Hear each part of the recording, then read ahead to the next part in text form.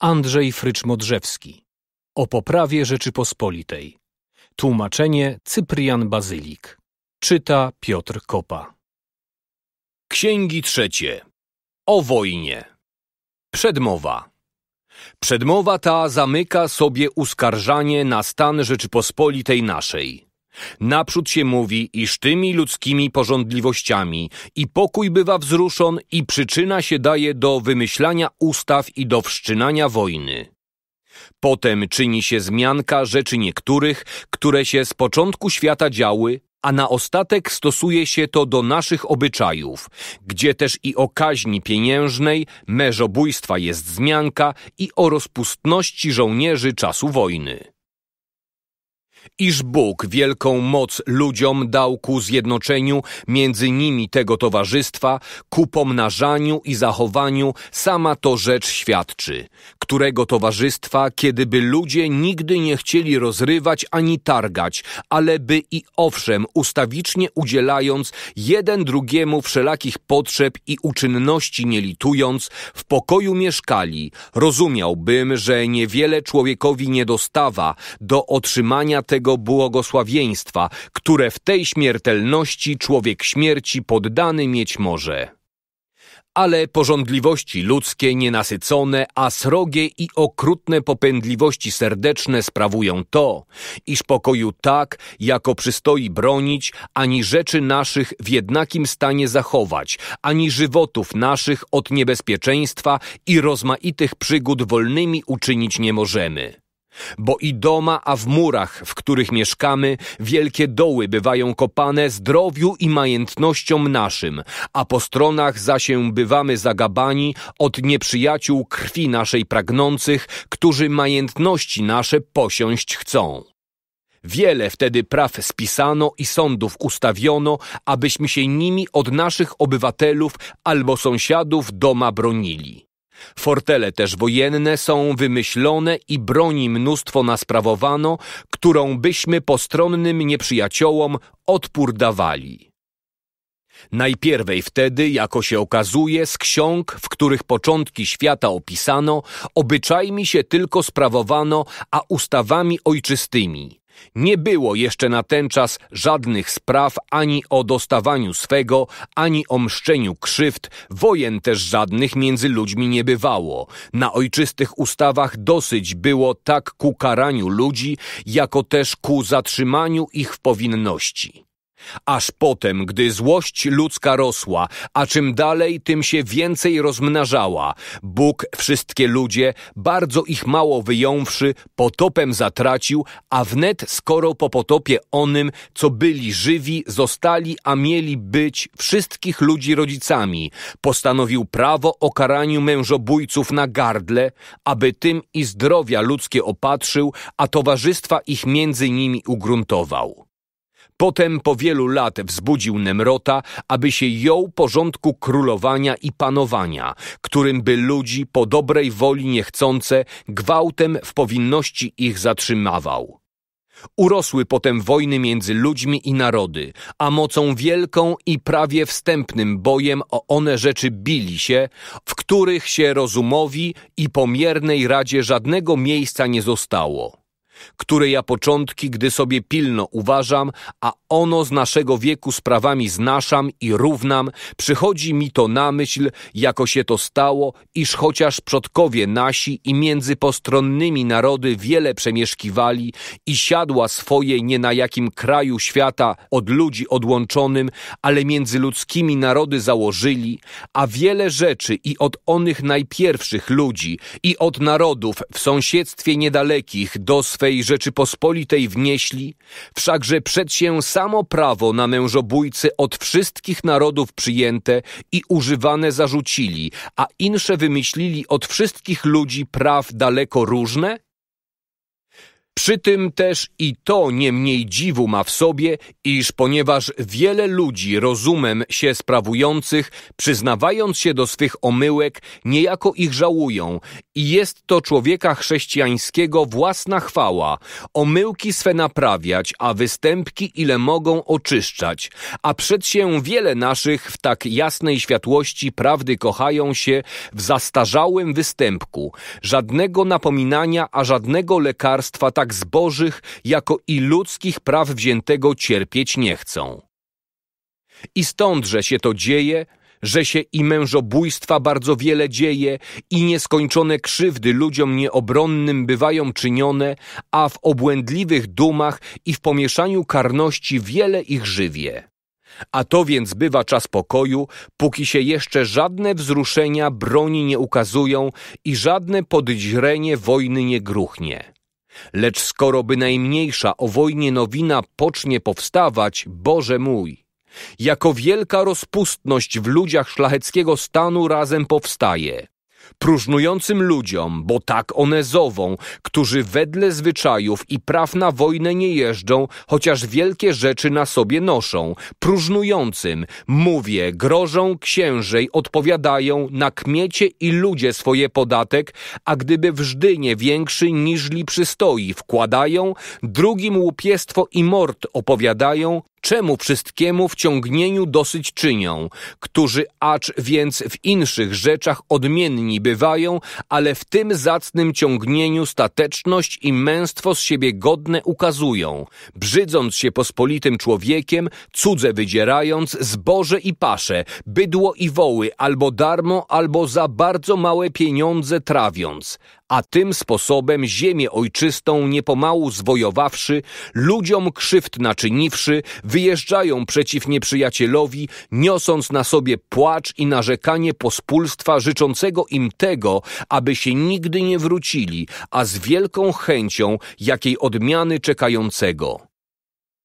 Bo a co mnie masz, jakiej chęci taki ubogi, tak rozmaicie obrażony będzie przeciwko tym, którzy mało się łaskawiej, niźli nieprzyjaciel, trapiąc je same i ich majątności gubiąc, zachowali?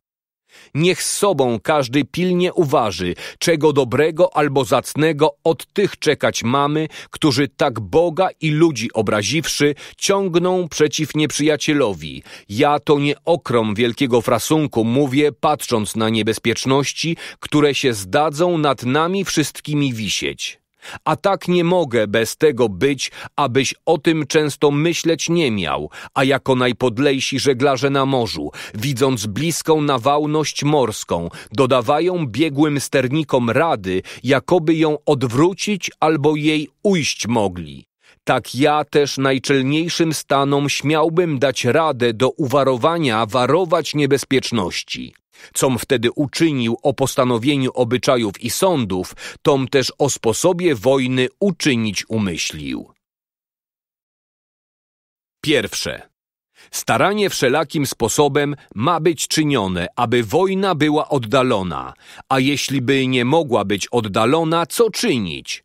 Czasu pokoju o co się starać i o uczynieniu obrony jakiej na Ukrainie. A iżby wojny wieść nigdy nie była potrzeba, przeto pokój najwięcej, ile być może, ze wszystkimi ludźmi postronnymi ma być zachowań. A nie trzeba się tego nigdy dopuszczać, aby mieli przyczynę jaką, dla której by co nieprzyjacielskiego przeciwko nam dumali co jęliby się z trefunku, jakie krzywdy albo z tej, albo z owej strony wszczęły, ma być pilność czyniona, żeby to albo prawem, albo dobrych ludzi rozsądkiem było rozstrzygnione. Zwykli pospolicie pograniczni narodowie i panowie dlatego wspólne przymierze między sobą miewać, którzy iż sędziego żadnego nie mają, przeto swej dobrej woli obierają z obu stron sędzie do rozstrzygnienia różnic, a to albo z obcych ludzi, albo też z poddanych swoich, które póki sąd trwa, wolnymi czynią od przysięgi, którą się podobno sobie obowiązują, aby oni tym wolniej wedle sprawiedliwości o wszystkich prawach między sobą rozbierali i stanowili.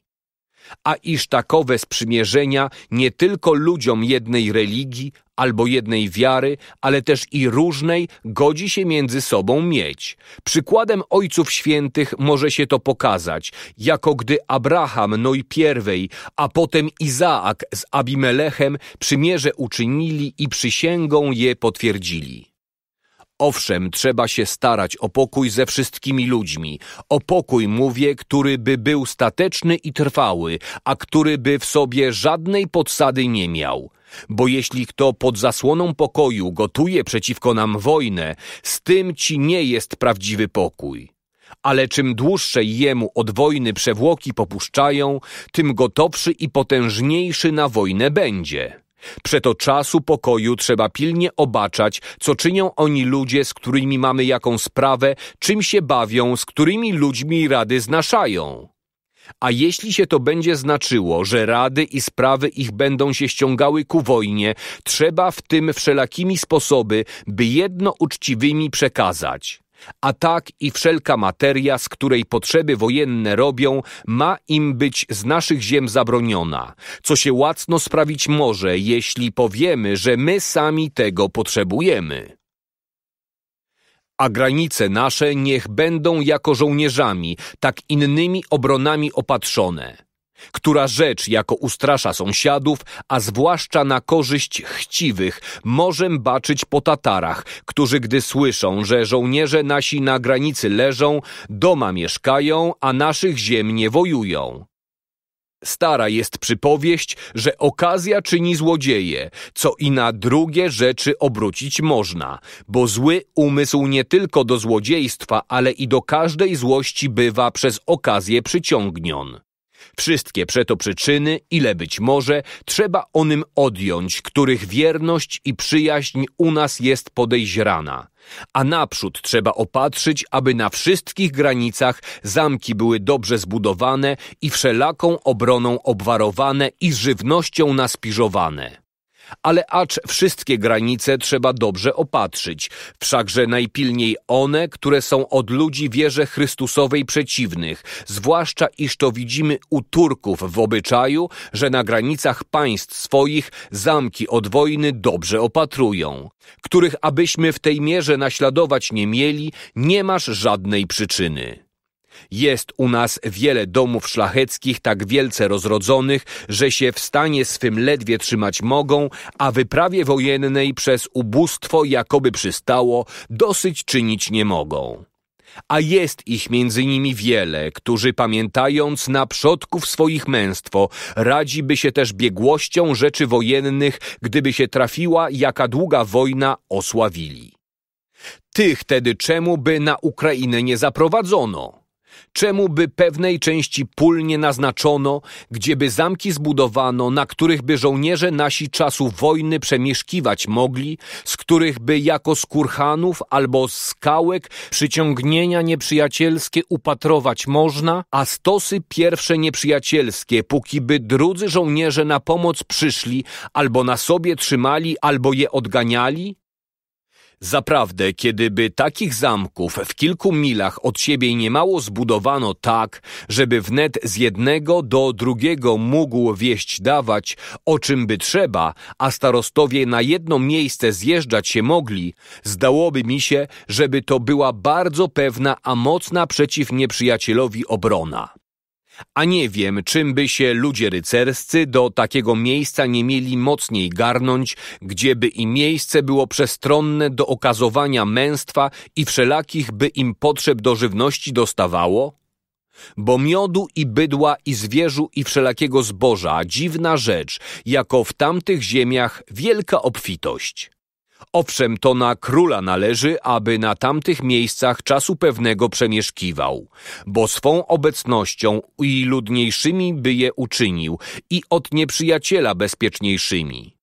A przetoż na Sejmie mieliby obrani być tamtych miejsc świadomi, którzy by takowym zamkom miejsca i pola naznaczyli, wsi i miasteczek pewną liczbę przydali, a jakoby na powiaty podzielili, rozkazawszy onych powiatów i zamków starostom pewną liczbę żołnierzy ustawicznie chować.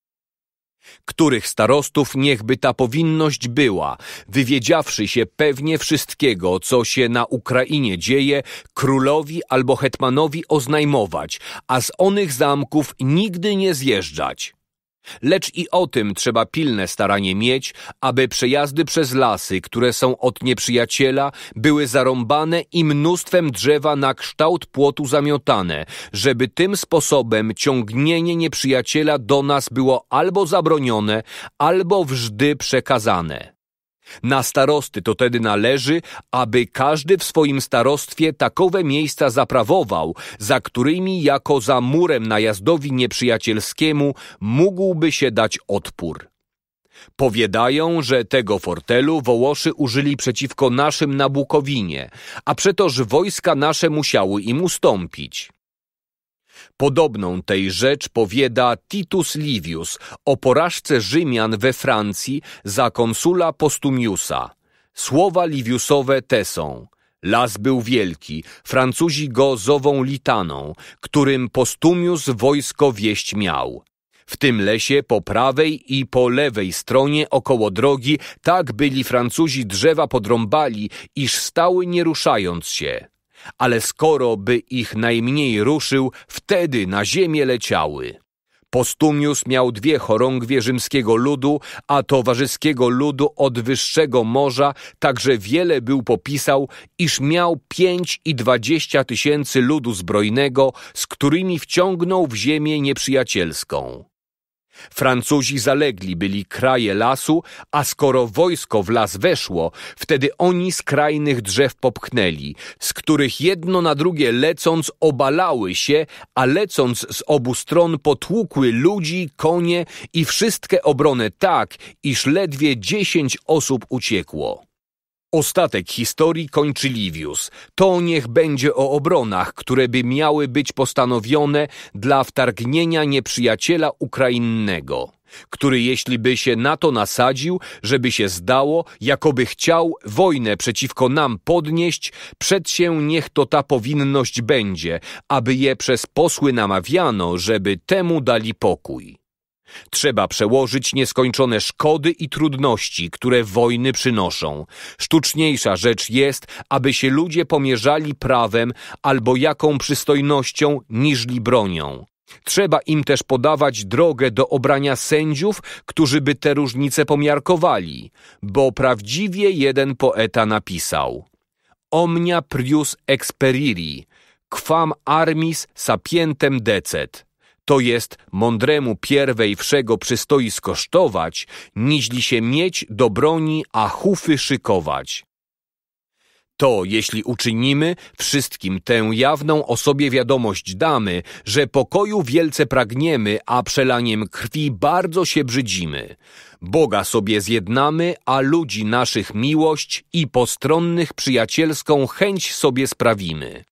Co jeśli, że ci, z którymi sprawę mamy, wolą nam być nieprzyjacielami niźli przyjacielmi, a opuściwszy wszelakie ludzkie przepieranie, mocą a bronią z nami czynić chcą?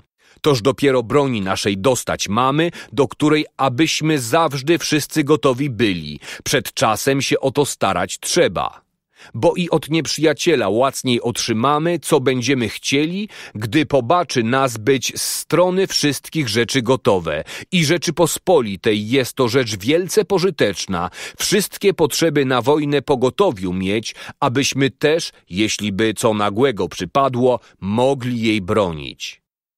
A tak, jeśli się już postanowi skosztować wojny, trzeba się o to starać, aby wszystka była w ziemię nieprzyjacielską przeniesiona.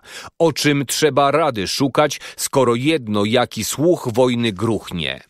Wszakże też rady nie wykonywać, aż wywiedziawszy się pewnie, że już inaczej być nie może. Co, jeśli że na nas przyjdzie, że się mszcząc krzywdy poddanych i Rzeczypospolitej naszej musimy wojnę podnieść, ponieważeśmy inszych lekarstw próżno doświadczali. Wtedy dopiero zwierzchny Rzeczypospolitej Pan, któremu dlatego miecz jest od Boga dan, nie ma nic omieszkawać, ale zaraz rozbójstwa nieprzyjacielskie wojną uganiać. Drugie. 1. Sprawiedliwość i uczciwość wojny przekłada się, która aby była słuszna i szczęśliwa, ma mieć sprawiedliwą przyczynę, a nie ma być wszczynana, aż zgotowawszy potrzeby i wszystkie rzeczy o skończeniu jej pilnie uważywszy. 2. Opisano też dostatecznie, co jest sprawiedliwa przyczyna wojny, aby dla rozszerzenia sławy i państwa nie była podnoszona, co się pokazuje z trudności, panowania i z nieskończonej pracy rządzenia i z różnej chęci, którym ma być rozkazowano, z niepewności granic, których wojną chcą dochodzić i z nieskończonych nędz i trudności wojennych. Punkt drugi. Ale wojna ma być podnoszona dla pomszczenia albo odwetowania krzywd, które inaczej nie mogą być nagrodzone. 3. Na ostatek, aby była wojna szczęśliwa, ma być wiedziona od tych ludzi, którzy się z Bogiem pojednali. Naprzód przeto o świętobliwości wojny, jako nabożnie starodawnych czasów rozumiano, nie jeden o tym pisał, bo nigdy wojny nie wszczynali, aż upomniawszy się swego, a wojnę przez osobliwego na to obranego posła opowiedziawszy. 1. Bo aczkolwiek ciężko grzeszy, kto uczyniwszy krzywdę, daje przyczynę wojny. Wszakże kto się krzywdy uczynionej przystojnie mści, kto o nabożeństwo, o dom, o żywot i o majętność ludzi swoich walczy, ten Rzeczypospolitej zacną posługę czyni. A tak ci Abraham, ojciec ludu Bożego, dla wyzwolenia brata wojnę przeciwko nieprzyjaciołom podniósł. Wiele też panów hebrajskich wiedli wiele wojen dla wolności. Ale potrzeba, aby była sprawiedliwa przyczyna wojny, której gdy nie będzie, możemy się zwycięstwa nie spodziewać. A jeśli by się takie zwycięstwo trafiło, podobno przeto, że się Bóg przez nas mści złości nad tymi, z którymi mamy sprawę. Wszakże nie moglibyśmy go długo używać, a trzeba by się nam bać, aby On najwyższy sprawiedliwości mściciel nie obrócił jej nam wielką ostateczną hańbę i wielką nędzę. A przeto, jeśli chcemy, aby się nam szczęśliwie wiodło, trzeba, abyśmy mieli sprawiedliwą wojnę. 2. Którzy nie dla inszej przyczyny wszczynają wojnę, jedno dla sławy albo dla rozszerzenia państwa, ci bardzo źle sprzyjają ludziom i ich rzeczom.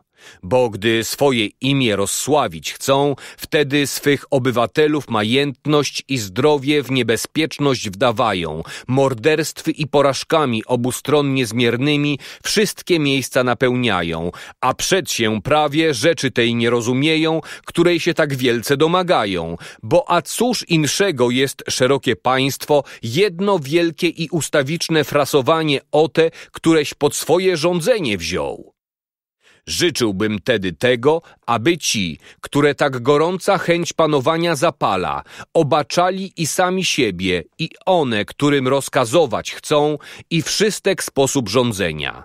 Bo nie dosyć jest na tym słyszeć, gdy cię królem albo panem nazywają, powagę i mnóstwo sług około siebie mieć, a tych, którzy by na najmniejsze słowo posłuszni byli, przy sobie widzieć, Trzeba, żebyś rządził, jeśli chcesz być tym, czym cię zową. To jest radzić o zdrowiu tych, które rządzisz, o zacności, o obyczajach, o prawach i o majętności. Niezliczone są dary, którymi dobrzy królowie mają być obdarzeni, którym ja w pierwszych księgach szeroce wypisał.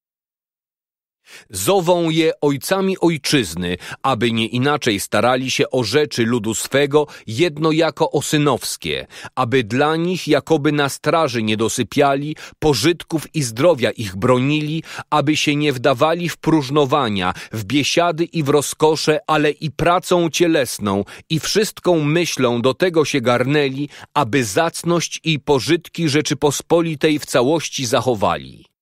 Wiele rzeczy nowych, wiele niespodziewanych na oboję stronę przytrafić się może.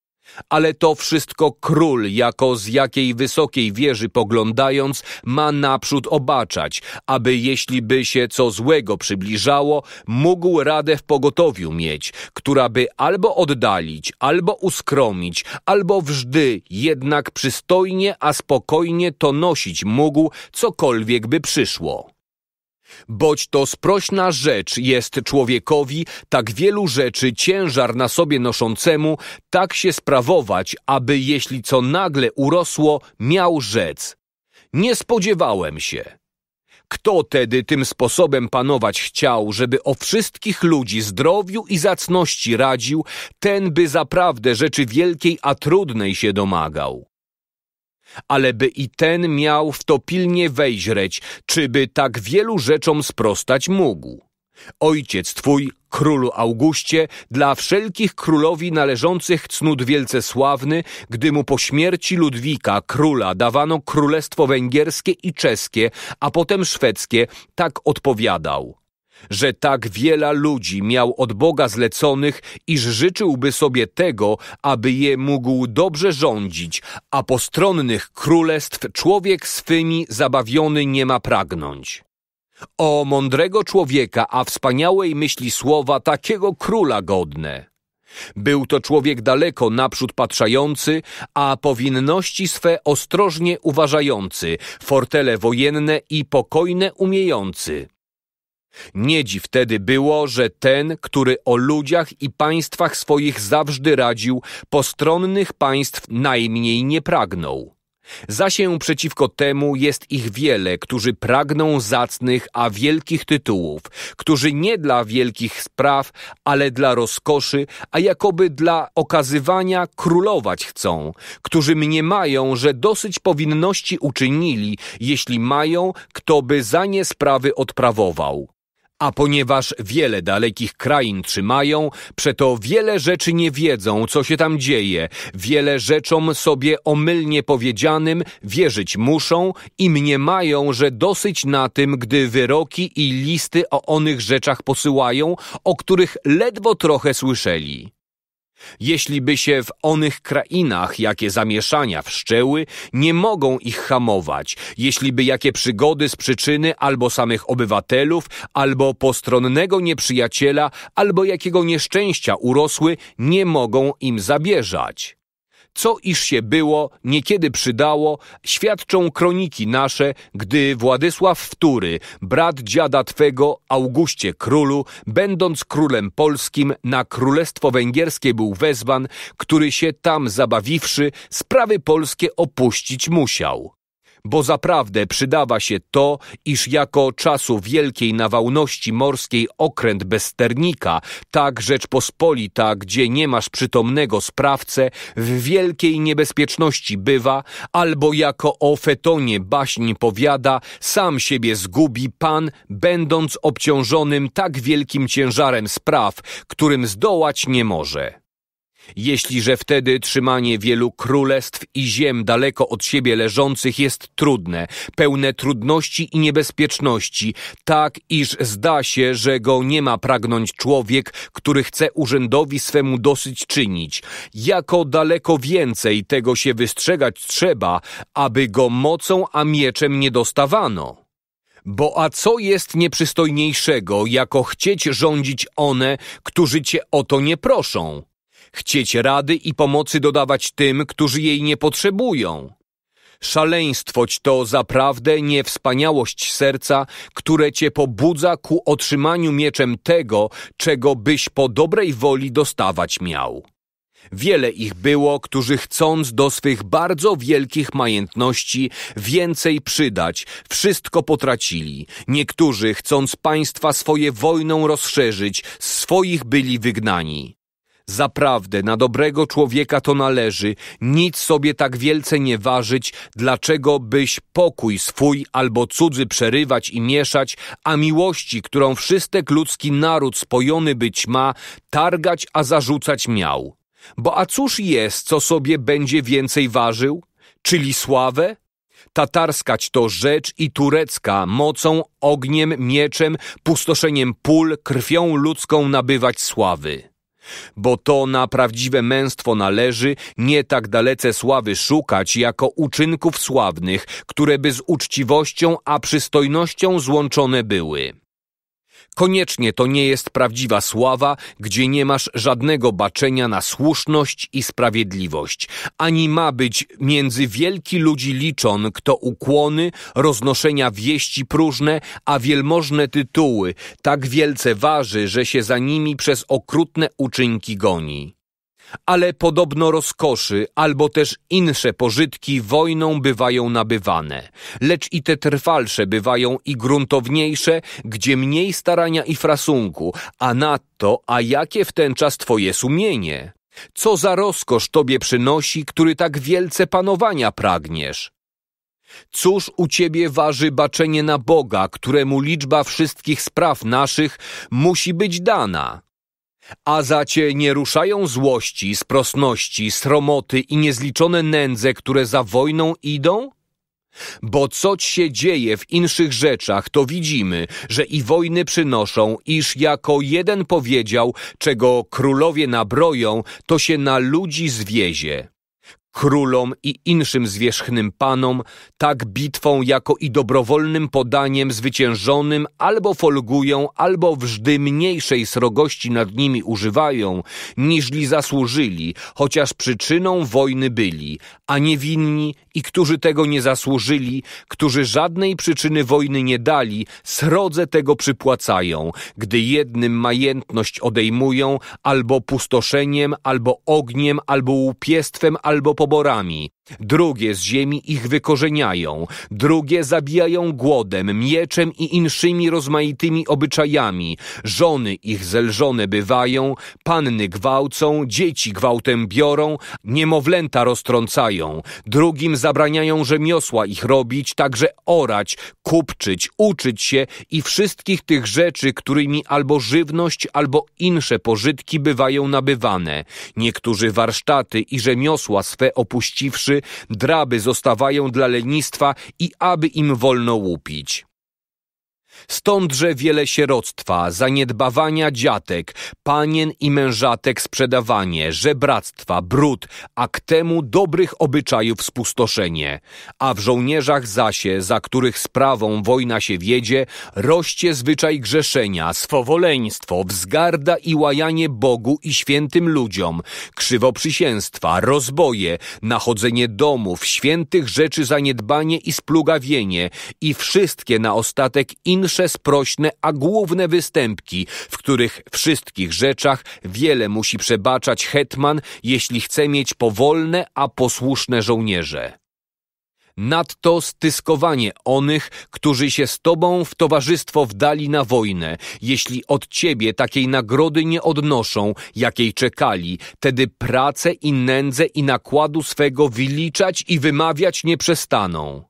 A o zacnych osobach co mam mówić, którzy w bitwie polegli dla Twego łakomstwa? Co o zwyciężonych mam mówić, którzy Cię zawsze tajemnie, a skrycie nienawidzą, czyhając zawsze na to, jakoby na wolność wyjść mogli? Co na ostatek mam mówić o poddanych Twoich, na któreś często pobór wkładał, wielokroć strach zadawał, aby się nie przeciwili chęci Twojej, którzy od żołnierzy tak domowych, jako i postronnych nieskończone nędze podjęli. Co rozumiesz, jakiego serca przeciwko Tobie są?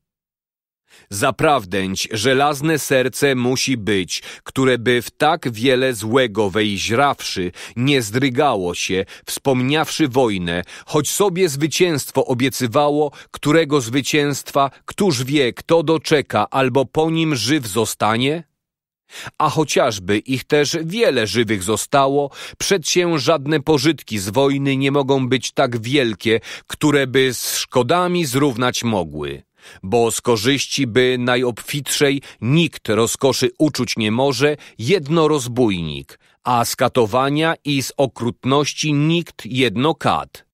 Sławy lepak kto z nędzy i z upadku drugich dostał, chyba u centaurów, a u tych plugawców, którzy żywotem swoim skażonym, a uczynkami sprośnymi sprawiedliwy o rzeczach rozsądek stracili? Wiele ich było, którzy uważywszy u siebie nędze wojenne, gwałty, zabijania i upadki, tak rozumieli, iż żaden człowiek okrom ogromnego występku w wojnę się wdać nie może. Lecz mamy w pogotowiu przykłady wielu panów i hetmanów zacnych i świętych, którzy dla sprawiedliwych i potrzebnych przyczyn wiele wojen wiedli. Więcej wtedy trzeba uważać przyczyny wojny i sposób wiedzenia jej. A pańska rzecz jest, co najwięcej starać się o to, nie dosypiać, a opatrzeć albo zabiegać temu, aby się żadne krzywdy nie działy. A jeśli by się które stały, ma wszystką mocą do tego się przyłożyć, aby okrom miecza były odegnane.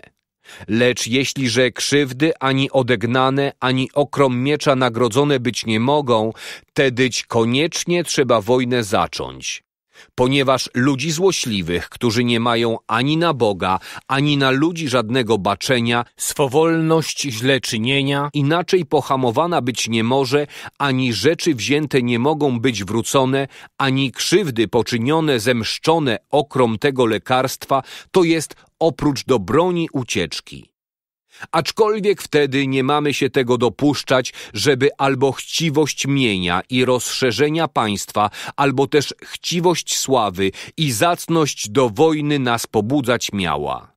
Wszakże krzywdy ludziom naszym uczynione, a chęć bronienia Rzeczypospolitej naszej ma wielkie pobudki dawać do wojny, to jest, abyśmy żyli w pokoju, zachowawszy w całości pożytki i zacność Rzeczypospolitej. Bo który by król taką wojnę opuszczał, a nie starałby się, jakoby usiłowanie nieprzyjacielskie, zebrawszy żołnierze, przełomił, rzeczy od niego zabrane odjął, a krzywd się pomścił, ten by drogę nieprzyjacielowi pokazał, aby i potem takie rzeczy na potem czynił, urząd miecza, który mu w ręce jest dan na karanie złych, na stronę zarzuca, a nie ma być rozumian za pana, ale za wydawcę Rzeczypospolitej, który ją czasu potrzeby opuszcza. Bo jako powiada Cicero, kto nie broni i nie zastawia się krzywdzie, jeśli może, tak jest występnym jako ten, który rodziców albo przyjaciół, albo ojczyznę opuszcza. 3. Lecz niedosyć ci jest ku otrzymaniu zwycięstwa sprawiedliwą przyczynę wojny mieć. Jeśli byśmy się nie kajali grzechów, których żeśmy się kiedy dopuścili, jeśli uczynkami Bogu przyjemnymi żywota naszego nie ozdobimy, żadnej nadzieje nie możemy mieć o zwycięstwie. Boć Bóg używa posługi obcych narodów na skaranie złości ludu swego. A tak i narody wyzywa, aż od północnej strony świśnieniem swym, by więc głosem trąby na wojnę i na Buchodonozora, króla babilońskiego, sługą swym zowie, którego obrał hetmanem przeciw Izraelowi. Opisuje też i moc, i gotowość, i biegłość walczenia wojsk przychodzących, aby dał znać, że nie trzeba im nic wątpić, aby nad Izraelitami nie mieli zwycięstwa otrzymać, aby je w plon zabrać. A tak, gdy sprawiedliwa przyczyna będzie, a wprzód wojny oznajmienie i żywot wedle nauki chrześcijańskiej postanowiony, wtedy o onej wojnie, która z wolą Bożą będzie zaczęta, może mnie wątpić, że i szczęśliwa będzie i dobrze się zdarzy. Trzecie. Wojny świętobliwość, a między inszymi ludzkimi sprawami zacność, k temu napominanie do szlachty i do króla.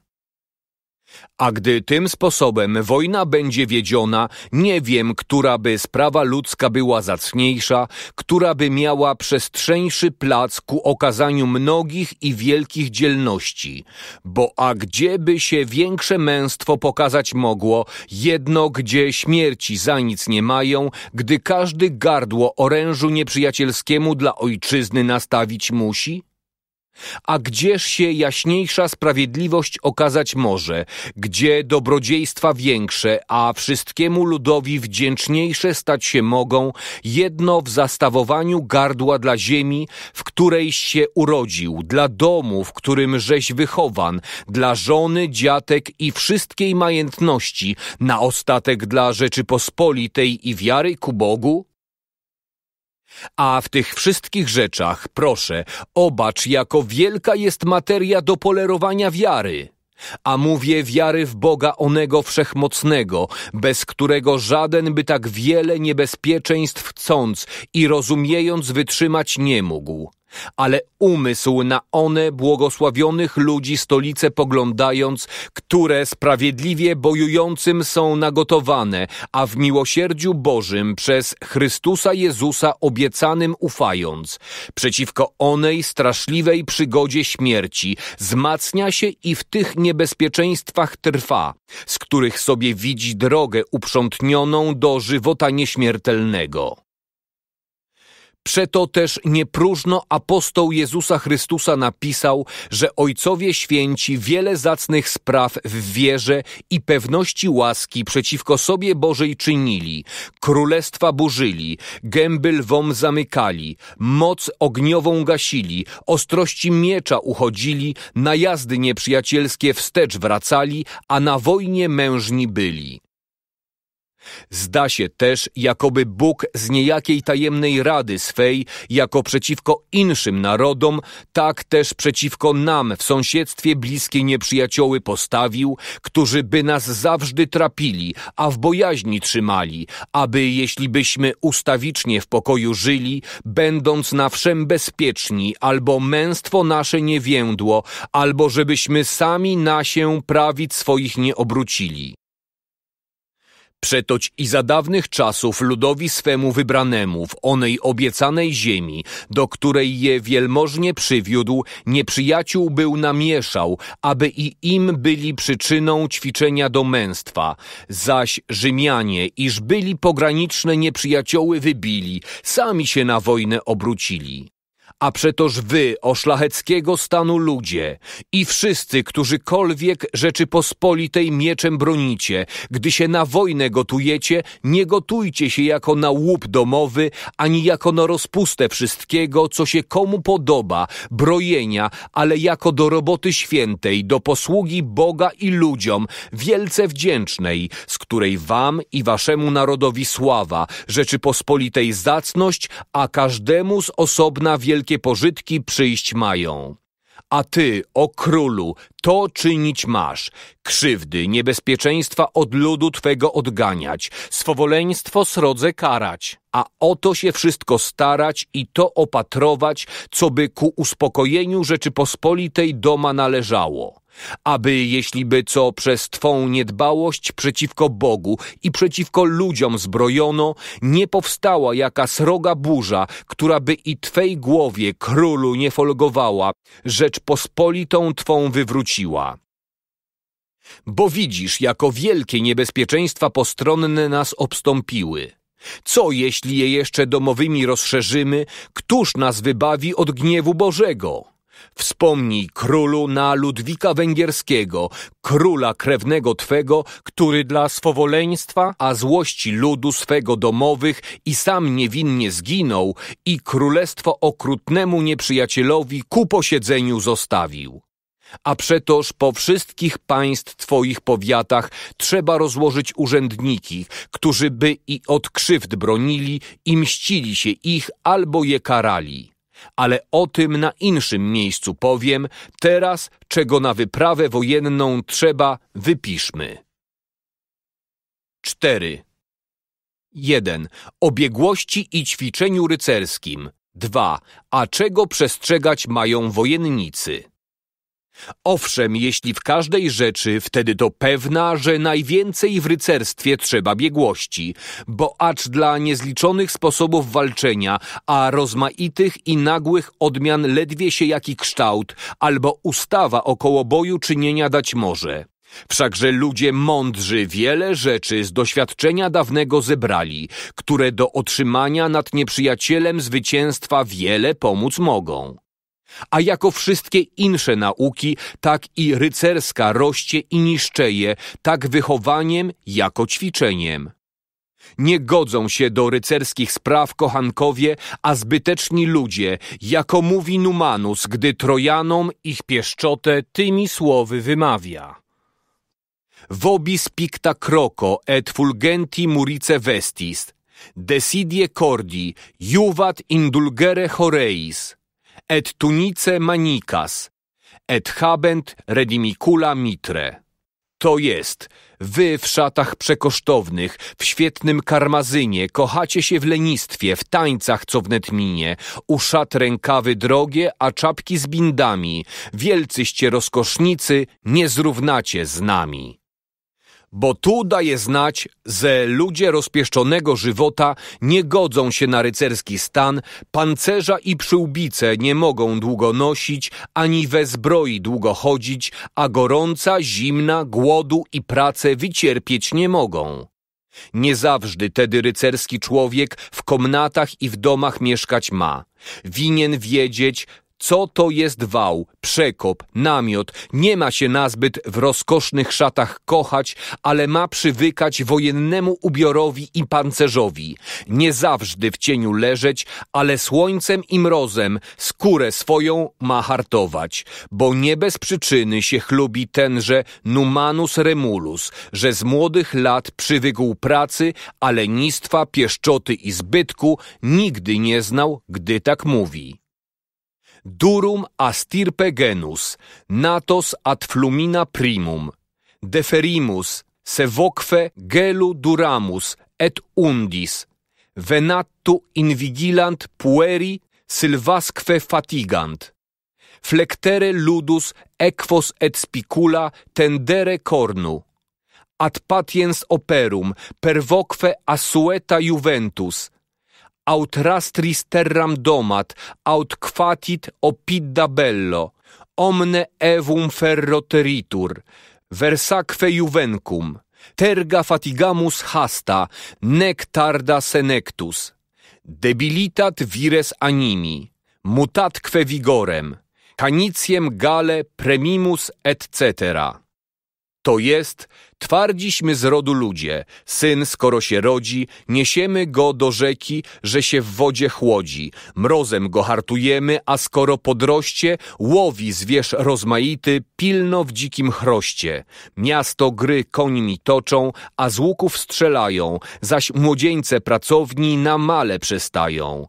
Około ziemię robią lub miast dobywają, po wsze czasy żelazem grać obyczaj mają. Często tarcze oszczep kryte bukowiną przybijamy, lecz lata i starym nie giną, bo żelazną przyłbicą sędziwość kryjemy, przeto też niejednego bez ługu myjemy. Tu Remulus nie tylko się z wychowania wychwala, ale też i z ćwiczenia, którym nauka rycerska najwięcej stoi. A to należy tak na koniach, jako na jeźdźcach i na pieszych. Wielekroć w potrzebie konie na przekazie były, częstokroć też porażce przyczynę dawały. Przeto zuchwałe, a nie objeżdżone, albo płoche, albo dychawiczne, a k temu nietrwałe, albo nieobrotne, niechaj będą z wojska wyrzucone, a dobrze by w czas przez woźnego obwołać, aby każdy przed czasem konie dobre sobie sprawił.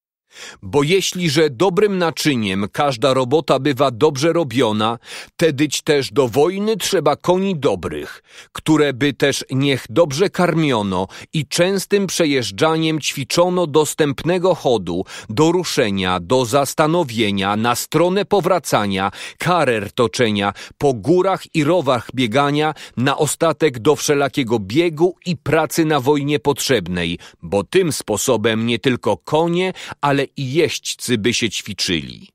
Co jako rzecz potrzebna na wojnach, nie jest to rzecz tajna, bo nie może to być, aby ochotnie hetmańskie rozkazanie czynić mieli, albo też umiejętnie powinności rycerskiej dosyć czynili, którzy się w tym nie ćwiczyli.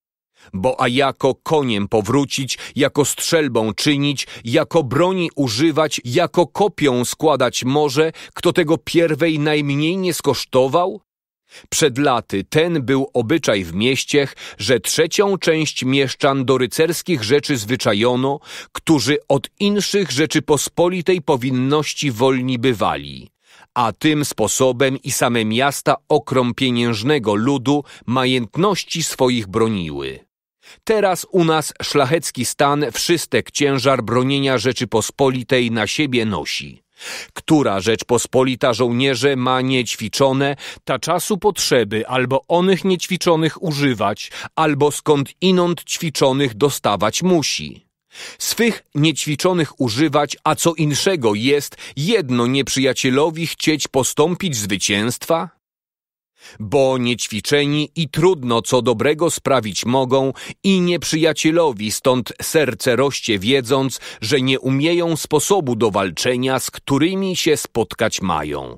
A jeśliże żołnierz skąd inąd dostawać ma, tedy im nie może tak ufać jako swoim i nie może tak wiele na nie przełożyć, ani występnych tak sprawiedliwie karać jako swych.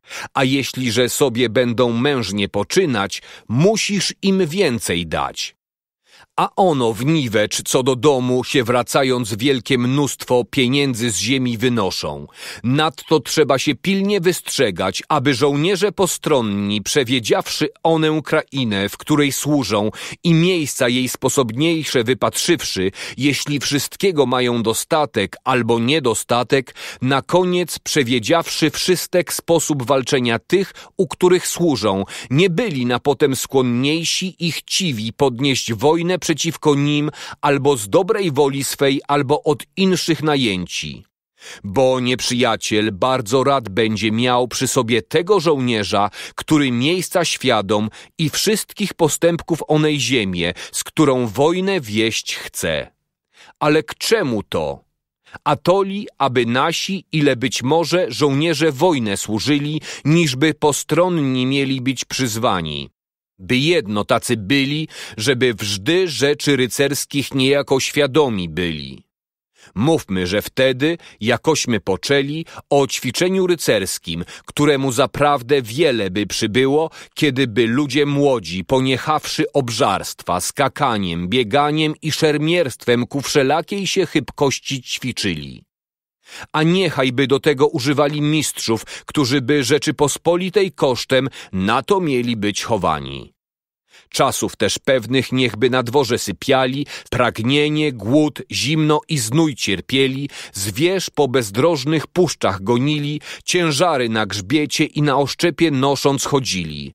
Niechby we zbroi biegali, na konia drewnianego skakali, niechby sobie jaki słup stawiali, do którego by pociskiem, albo mieczem, albo oszczepem utykali, ćwicząc się, jakoby z nieprzyjacielem potkać mieli. K temu niechby sobie groble i rowy czynili, przez które by skakali, na wysokie miejsca, aby wskakowali, za się zeskakiwali, ubiegając je, a od drugich, którzy by je stamtąd zepchnąć chcieli, broniąc, a także uciekając, doganiając jeden drugiego, do celu strzelając, kopią z sobą się potykając, niechby się jak do potrzeby ćwiczyli i gotowali.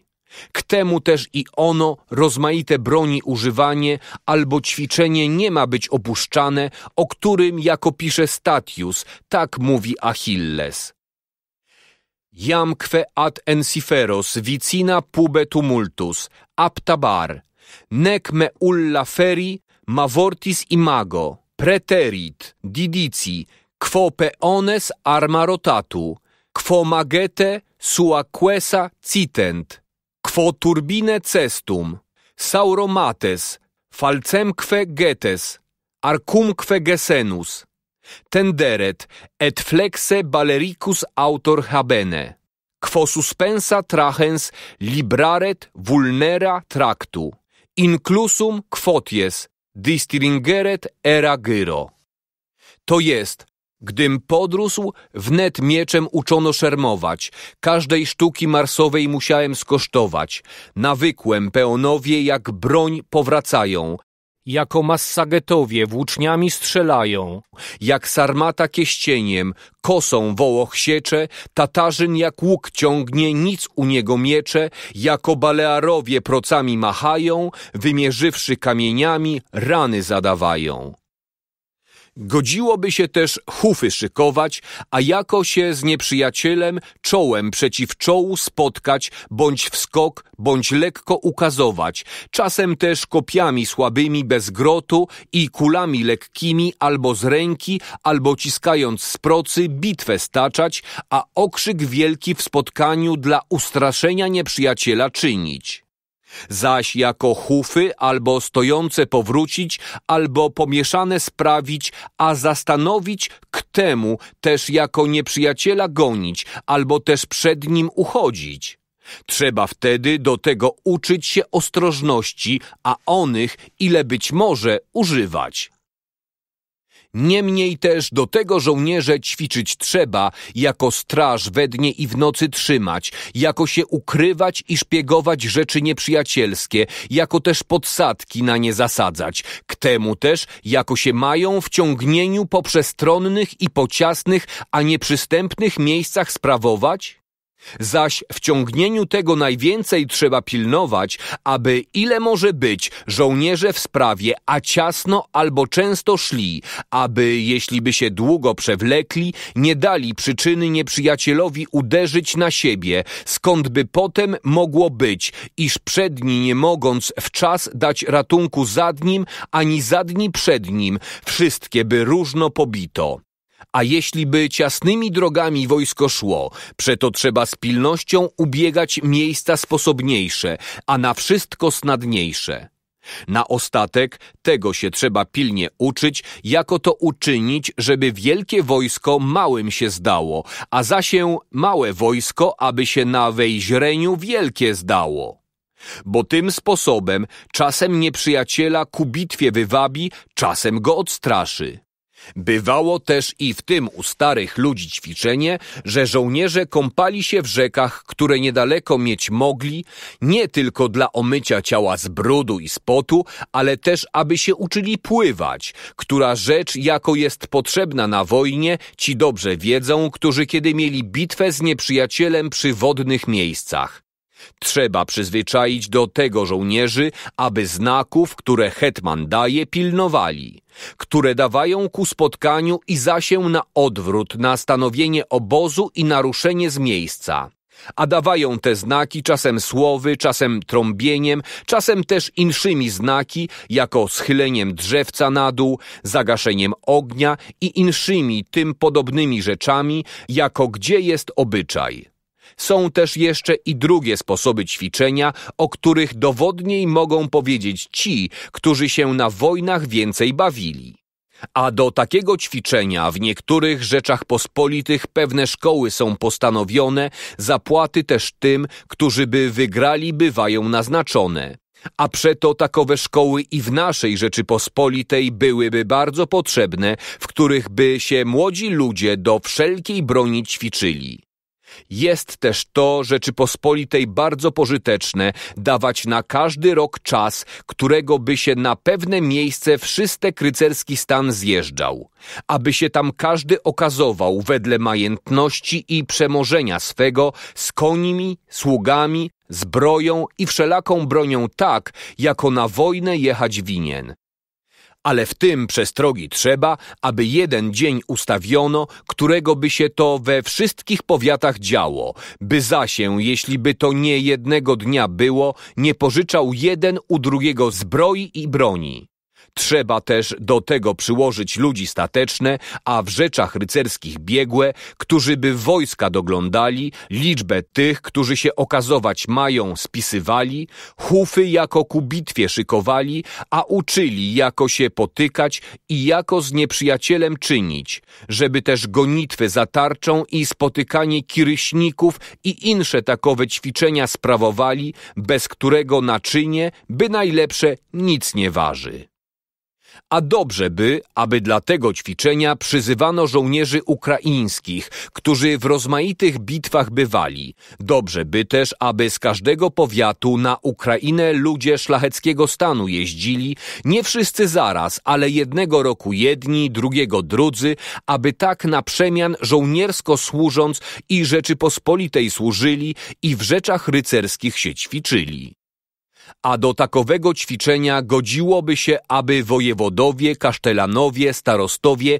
i insi tym podobni urzędnicy osobami swymi przyjeżdżali, aby się wszystko pod zwierzchnością, a z większą pilnością działo i żołnierze, aby byli posłuszniejsi bo ponieważ to żołnierska jest rzecz i zastanowić się, i ruszyć się, albo postąpić i uderzyć na nieprzyjaciela, i cofnąć się nazad, i inszych rzeczy wiele, wedle czasu i miejsca umieć. Tedyć zaprawdę, którzy się w takowych jakoby cieniach wojny nie ćwiczyli, nie może to być, aby gdy przyjdzie i ku samej niebezpieczności, mogli sobie dobrze i mężnie poczynać. Metellus hetman przeciwko Jugurcie od Rzymian do Numidyjej będąc posłan wziął był od Albina, który był przed nim hetmanem, żołnierze niećwiczone, swowolne i rozpustne, w niebezpieczeństwie i w pracy niecierpliwe, karnością nieukrócone, ani w skromności przewiedzione, których iż nie mógł przeciw nieprzyjacielowi snadnie używać, nie drzewiej się zwieść bitwy ważył, aż zbytku odzwyczaił, a do potrzebnej pracy wzwyczaił. Naprzód wtedy, jako powiada Sallustius, wyrokiem swoim zabronił wszystkich przyczyn zleniałość przynoszących, zakazał też, aby żaden w obozie chleba ani żadnej ważonej i pieczonej potrawy nie przedawał aby się dla jakiego pożytku motłoch za wojskiem nie włóczył, aby żaden prosty żołnierz nie miał w obozie i chufie sługi, ani bydlęcia jakiego, w drugim miarę ustawił, potem poprzecznymi drogami, co dzień obóz ruszając, wodził, a jakoby blisko był nieprzyjaciel, wałem i przekopem warował, straż gęstą miewał, a sam ją z poruczniki swymi obchodził. Jeszcze w chufie, to między przednimi, to między zadnimi, to między średnimi bywał, aby kto z sprawy nie wykraczał, aby z chorągwiami gęsto szli, a iżby każdy żołnierz sobie broń i strawę niósł. A tak, zabraniając występków więcej, niśli karząc, za krótki czas wzmocnił swoje wojsko, z którym potem przeciwko Jugurcie mężnie sobie poczynał. To tak Salustius pisze – a toć są rzeczy, które ci, co chcą wojować, muszą sobie mieć jakoby wrodzone. Bo są i drugie rzeczy, jakoby nie do tych należące, ale przed się potrzebne, które jednak żołnierze, a zwłaszcza hetmanowie, mają wiedzieć. Naprzód trzeba wiedzieć żołnierzy tak swoich, jako i nieprzyjacielskich przyrodzenie, rozum, obyczaje i wady. Bo stąd wiele oboja strona porozumieć może, co by do zwycięstwa pomagało, albo przekazało. Przy tym trzeba też wiedzieć położenie i sposób onej krainy, do której się wojna ciągnie, jeśli jest górzysta, czyli równa, co za rzeki, lasy, miasta i zamki ma, także też obyczaje obywatelów onej ziemi. Ale najwięcej trzeba wiedzieć miejsca albo do otoczenia obozu, albo do szykowania wojska. Z tych rzeczy wiele się inszych do dobrej sprawy dróg naleść może. Nie każde miejsce da się oblęc, nie do każdego się może z działy przyszańcować. Inaczej sobie trzeba poczynać przeciwko onemu Ulisesowi chytremu mędrcowi, a inaczej przeciwko Ajaksowi, chociaż wielkiemu mężowi, ale nie tak fortelnemu. Polifema onego okrutnego i srogiego chcesz li pochodzić, trzeba, żebyś mu dał dobrego napoju, którym by się upił. Wiele tedy rzeczy, wedle sposobu wojny i nieprzyjaciela, z którym się wojna toczy, rozczytać trzeba bo z tymi, którzy nie kochając się w uciekaniu, nie urywczą, ale wstępną bitwę dawają, inaczej się trzeba obchodzić niżli z Turki i Tatary, którzy rzekomo uciekają, z trzaskiem goniące zabijają i bitwę, pokrzepiwszy się, wznawiają i nieobaczne mnóstwem swoim łacno obskoczą. To wszystko mądrzy walecznicy wiedzieć i tego się trzymać mają, bo to wielekroć więcej do zwycięstwa pomaga, niżli moc i mnóstwo ludzi. Dlatego i Turek, chociaż mnóstwem ludzi i naczyniem wojennym wszystkie monarchy przewyższa, wszakże fortelmi, a z nadnością tak czasu, jako miejsca więcej bitew wygrał, niźli mocą. Wie on każdego narodu, z którym ma mieć sprawę, obyczaje, wie położenie krainy i miejsce, stara się przez szpiegi albo chrześcijany na to najęte, aby je wymalowane mieli i nigdy on do nas nie przychodzi, aż wszystko pierwej przewiedziawszy i przepatrzywszy. A stądże wie, gdzie ma wojsko szykować, gdzie bitwę dać, a zastawić się. Wielekroć z naszych obyczajów zwycięstwo sobie obiecuje, bo dobrze świadom naszego narodu obżarstwa, wszelakiego zbytku i niezgod. Tego się tedy trzeba strzec, a do każdej rzeczy drogę dostatecznie wiedzieć. Wiele się ich dziwuje, iż Rzymianie za dawnych czasów miewali wielkie szczęście do wygrawania bitew tak, iż wszystek świat pod swą moc byli podbili. Aczkolwiek to jest pewna rzecz, że Rzymianie wielkie szczęście naówczas mieli, wszakże kiedyby ćwiczenie i karność rycerska tak wielka u nich nie była, jakowa ledwie u drugich narodów bywała, kiedyby byli wszelakich do walczenia pogód nie pilnowali, żadnym sposobem by byli tak dobrze szczęścia swego nie użyli. A tak Wiele historyków o tym pisze, iż oni nie tak mnóstwem żołnierzy, jako dobrą sprawą, a biegłością zwycięstwo otrzymali. I Vegetius powiada, iż się to u każdego historyka najduje, że każdy konsul rzymski przeciwko największym nieprzyjaciołom nie miewał więcej jako dwa legiony, przydawszy do tego pomoc przyjacielską, których także tyle bywało, albo trochę więcej. Tak wielkie ćwiczenie mieli Rzymianie i tak wielką śmiałość, iż na każdą potrzebę wojenne rozumieli być dosyć dwanaście tysięcy. To pisze Vegetius, który powiada, iż w każdym legionie rzymskim bywało sześć tysięcy, a czasem i więcej żołnierzy, czasem też i mniej, jako w tej wojnie, która była przeciwko Antiochowi. Za czasu Scypiona były dwa legiony rzymskie, a dwa przyjacielskie, z których każdy legion miał tylko pięć tysięcy i czterdzieści żołnierzy, jako Livius pisze. Co tu dlatego przypominam, aby każdy rozumiał, że Rzymianie małym wojskiem, ale ćwiczonymi żołnierzami i hetmanami sprawnymi, a biegłymi wielkie wojska częstokroć porażali. Bo i na ten czas trudne wojny wiedli, gdy się o najmożniejszego króla, a o trzecie świata część, jakoby o nowy świat kusili ale się ich wiele uskarża, że umiejętność walczenia i ten wszystek około szykowania wojska postępek mało jest pożyteczny za naszego wieku dla dział, od których wiele tysięcy ludzi ginie. Co aczkolwiek prawda jest, wszakże i to się też wyznać musi, że wiele się stacza bitew okrom wystrzelania dział. Nadto miewali też i starzy ludzie niejakie działa albo insze naczynia tym podobne, a przed się misterstwem chufy sprawowali. Ano i Turcy, którzy wiele dział używają, a przed się o nich powiadają, że się macedońskim obyczajem szykują. To też pewna, że mają na to szkoły postanowione, gdzie się młodzi ludzie uczą wojennej nauki, a przetoż i nasi ludzie nie mieliby tego opuszczać lecz o różności broni, o szykowaniu wojska, o liczbie i kozaków i husarów, także i o kiryśnikach, i o drabach, i o strzelcach, co z rusznicami, i z łuki, i z procami, i kopaczów, i tych, co kosze działają, i o inszych rzeczach do wojny potrzebnych, pisać albo naukę dawać nie jest moja rzecz. Są w tej mierze mistrzowie, od których się tego uczyć przystoi a to niech będzie o nauce i ćwiczenia rycerskim. 5.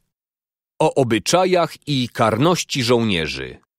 A iż ni jedna rzecz z tych dwu nic zacnego nie może sprawić okrom dobrych obyczajów i srogiej karności. Przeto żołnierzom taki żywot wieść trzeba, który by je okazał być bojącymi się Boga, a miłownikami uczciwości.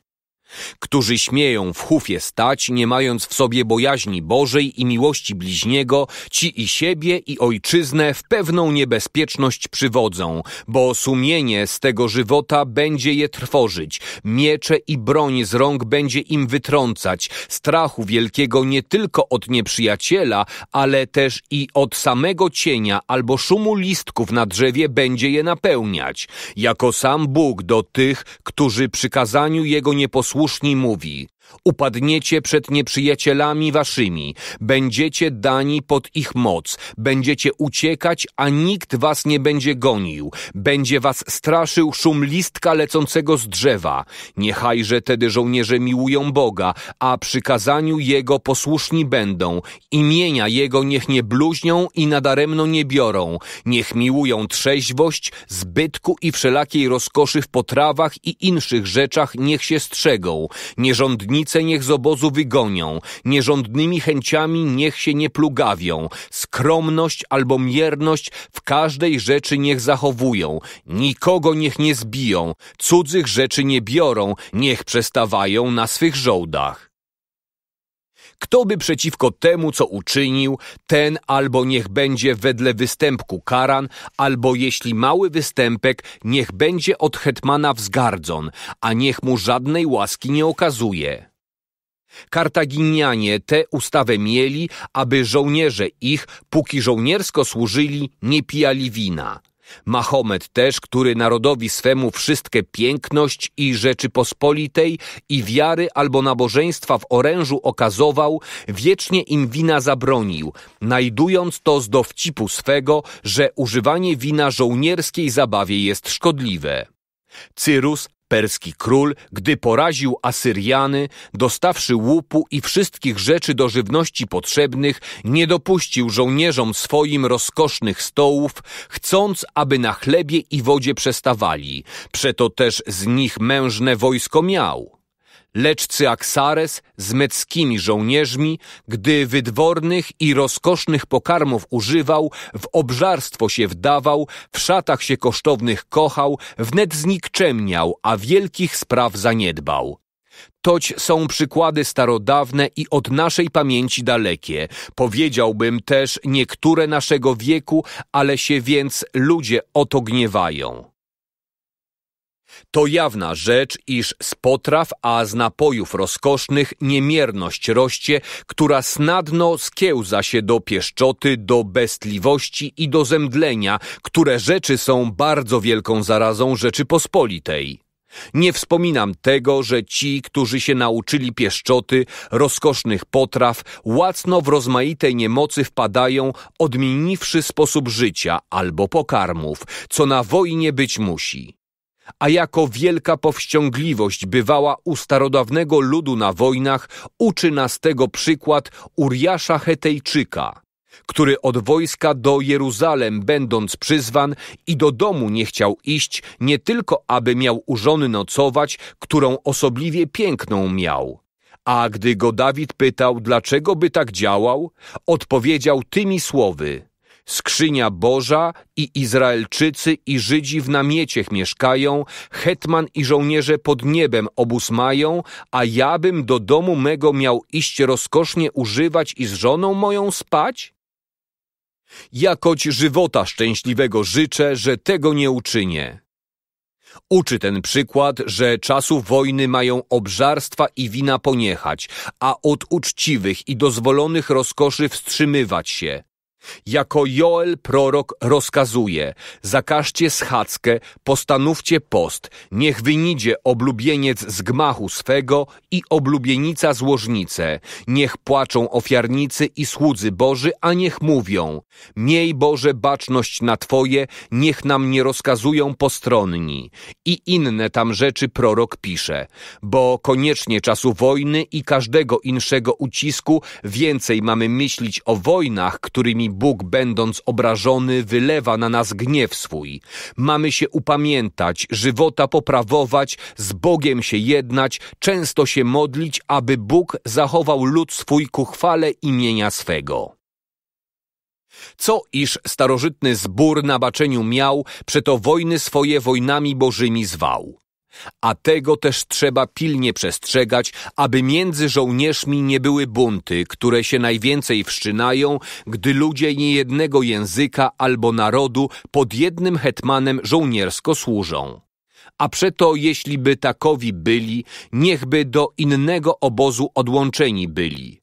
Gdy się też schodzą do łupu albo do dzielenia żywności, niechby nic wedle woli swej nie czynili, ale by niech wszystko rotmistrzom było poruczone. Zaprawdę on zwyczaj czynienia rzeczy do żołnierzy, który bywał u Rzymian, kiedy by jej też nasi hetmanowie zachowali. Byłoby bardzo pożytecznie tak do wiela rzeczy, jako do zgody między żołnierzami i do zachowania wspólnej przyjaźni, która na wojnie bardzo jest potrzebna. Turek, kiedy ma z chrześcijanami wojnę wieść, niczego więcej nie pragnie, jedno, aby z sobą byli niezgodni.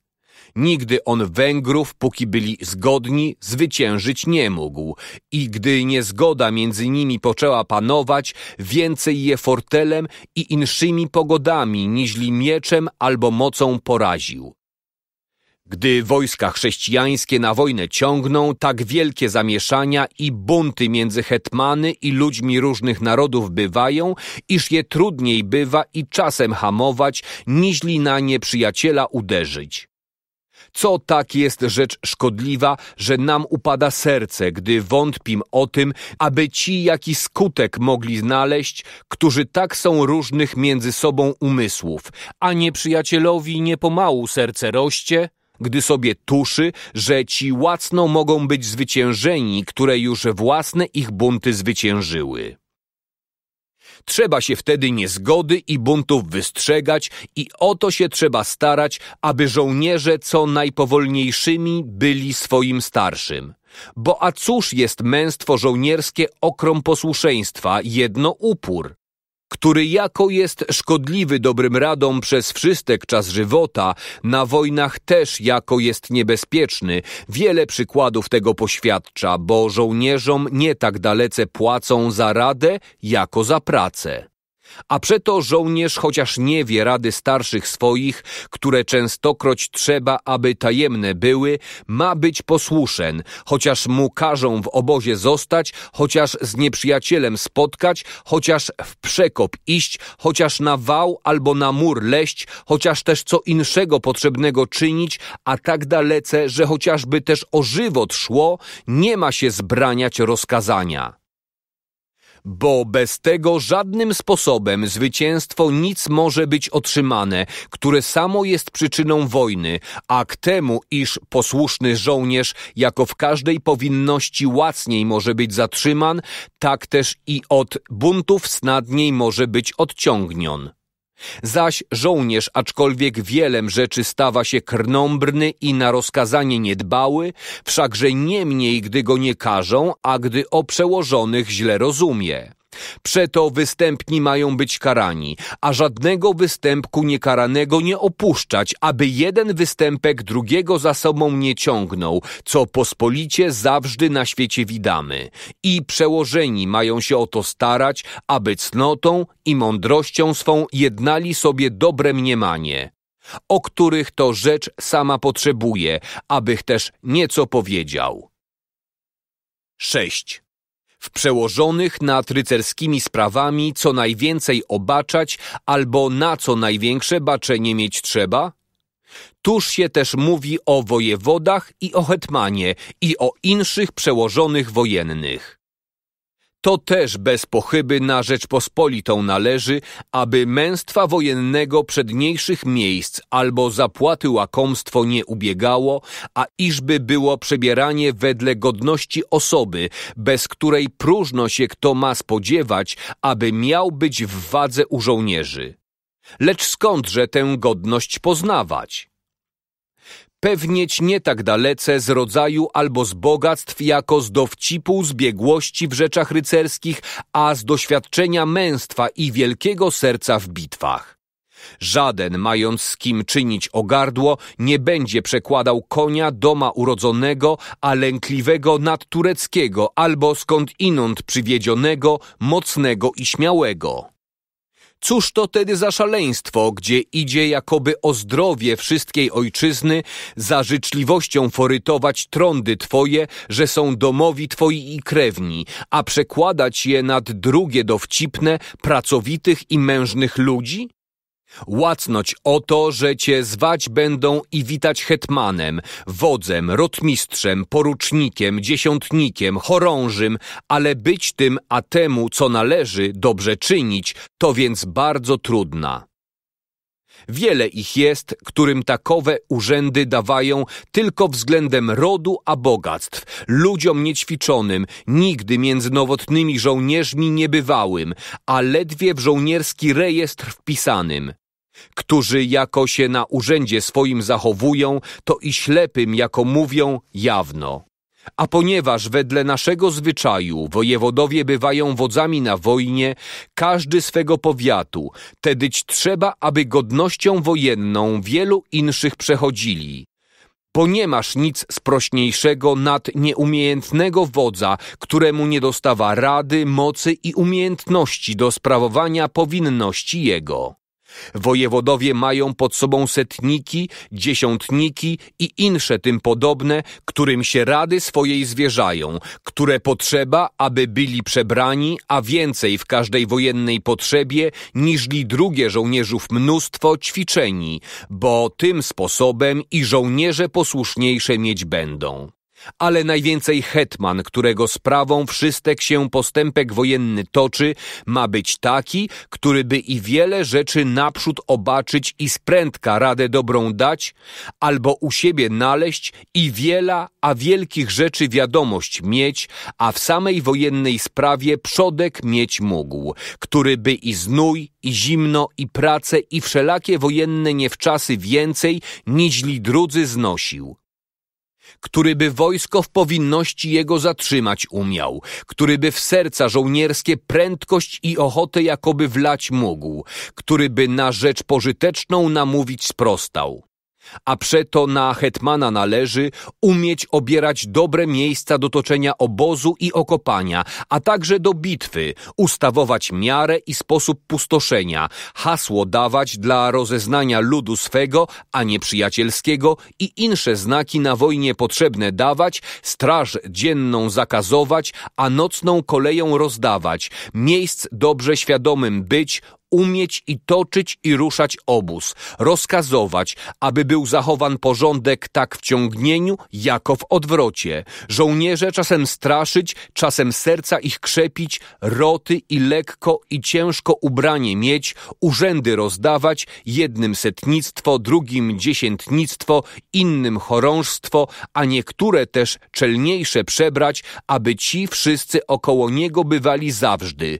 K temu też ma umieć hufy wedle miejsca i czasu szykować, a przeciwko nieprzyjacielowi albo na czoło, albo z tyłu, albo z boku wywodzić, hufy nieprzyjacielskie albo mieszać, albo oskoczyć, rady ich wyszpiegować, a swoje utaić, żołnierzom swym do bitwy serce dobre czynić, a kiedy trzeba, na odwrót kazać trąbić. Widziałem ja sam Jeronima Łaskiego, wojewodę sierackiego, wielce mądrego pana, a wielkiej sławy męża i walecznika, gdy chufy już sprawione objeżdżał, do mężnego je potykania napominał, cześć i zapłatę mężnym, a nikczemnym karanie i sromotę obiecując, jako pogody do wszystkiego sam pilnował, a do każdego kąta wojska dojeżdżał. K temu też ma hetman umieć fortele, chytrości i insze sztuki, którymi by nieprzyjaciela podszedł, a siebie w ostrożności miał ma też mieć w sobie w pogotowiu wszelaką ostrożność do wojny potrzebną, a nie już dlatego, że nieprzyjacielowi wiara ma być trzymana, trzeba wszelakie fortele ganić, tylko ono trzeba zachować, aby wojna była sprawiedliwa, którą zacząwszy, nic na tym, choć fortelem, choć też odkrycie z nieprzyjacielem czynić będziesz. Co, że i Jozua z rozkazania Bożego uczynił, świadczy Pismo Święte i poeta jeden napisał. Dolus an virtus quis in hoste requirat? To jest, jeśli fortel, jeśli moc nie o tym pytają, bywa w nieprzyjacielu, gdy więc wygrywają.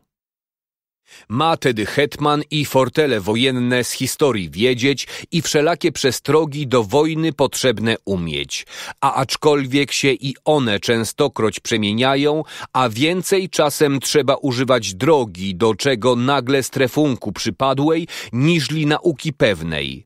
Wszakże częstokroć przypadają takie czasy, że z podobieństwa rzeczy od kogo inszego sprawionych w wielu potrzebach i my się obaczyć albo ostrzec możemy.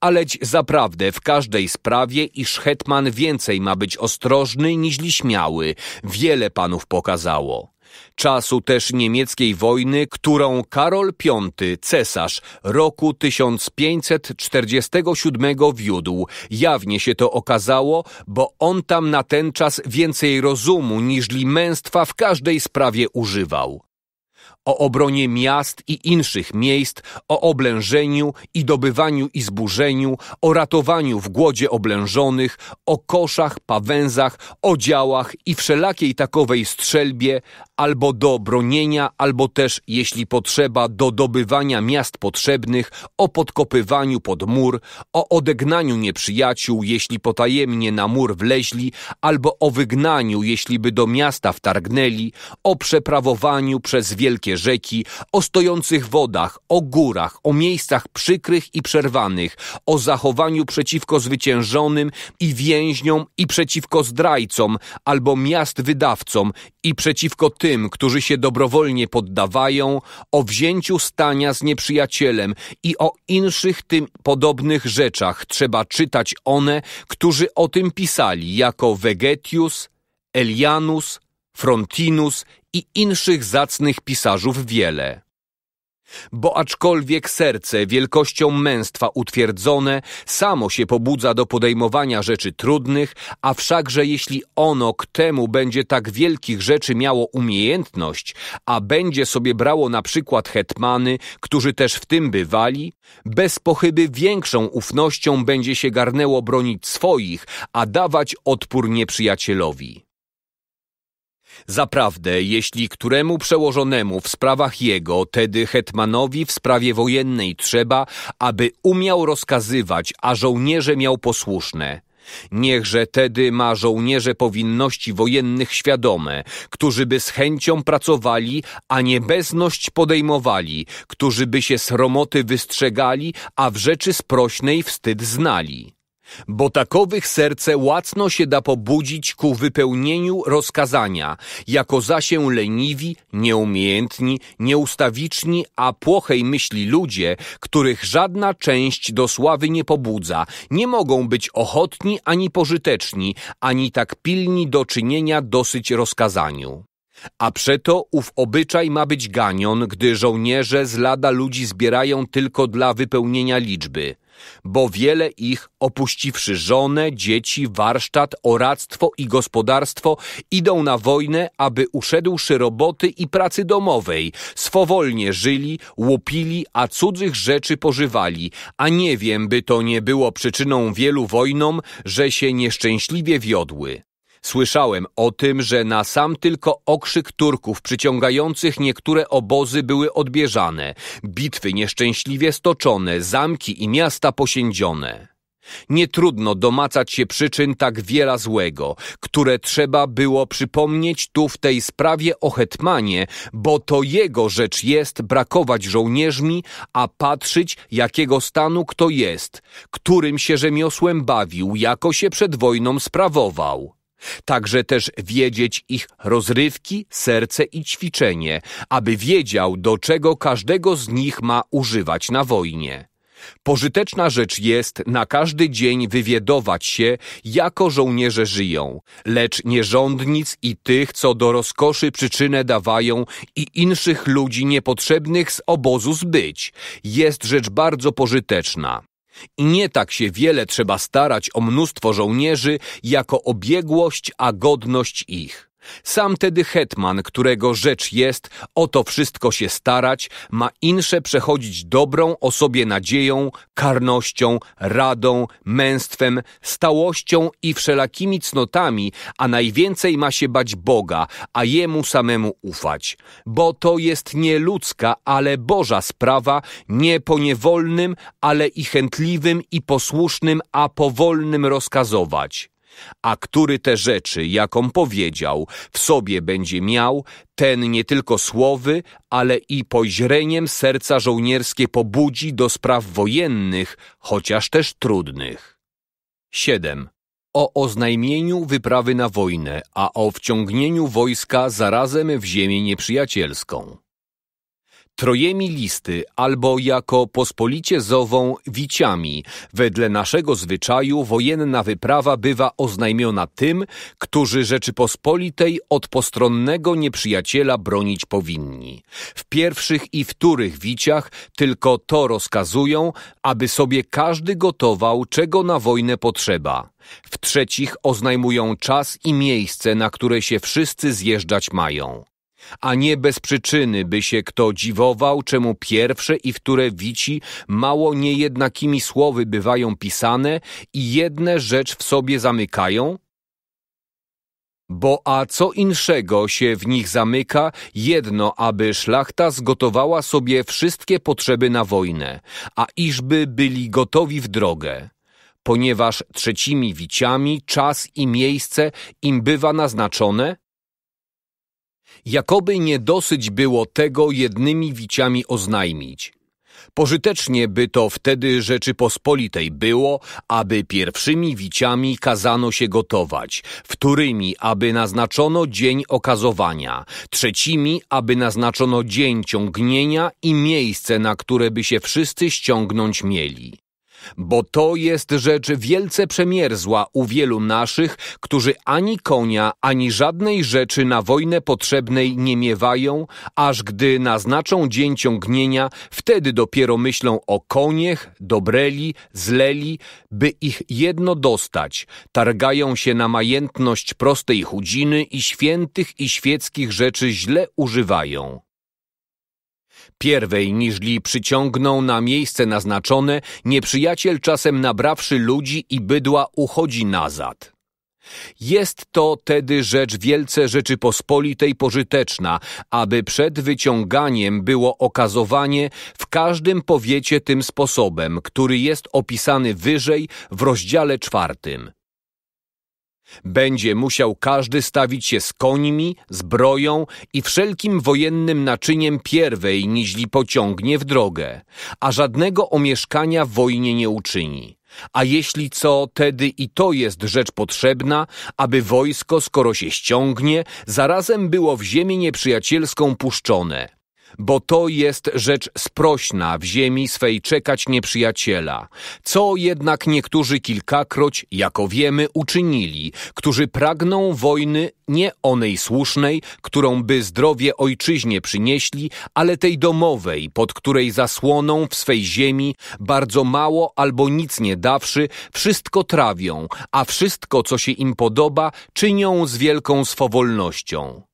Nie tak czyniwali przodkowie nasi wielcy, a sławni mężowie, którzy opatrzywszy się w potrzeby wszystkie wojenne, chodzili przeciw nieprzyjacielowi, a w ziemię co naprędzej wchodzili, tam i mieszkali, i zimowali, i bitwy staczali, a nie drzewiej się do domu wracali, aż wojnę odprawili a też to państwo męstwem ich jest tak rozszerzone, iż słusznie o to Boga prosić mamy, aby tak teraz było rządzone i zachowane. 8.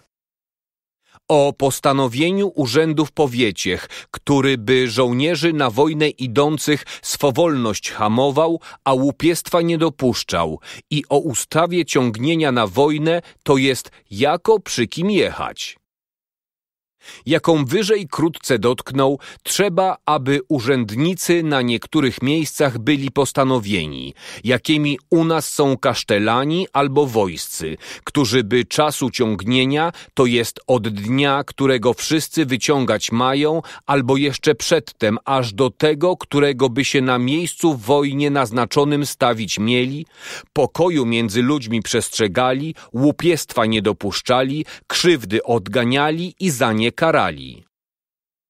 Jan Chrzciciel, gdy go żołnierze pytali, co by czynić mieli, odpowiedział, aby nikogo nie ruszyli, ani potwarzali, a na swych żołdziech przestawali, którymi słowy dał im ustawę o powściągliwości, mierności, sprawiedliwości i niewinności, a zabraniał im łupiestwa, wydzierania bydła, wszelakiej krzywdy i czynienia gwałtu.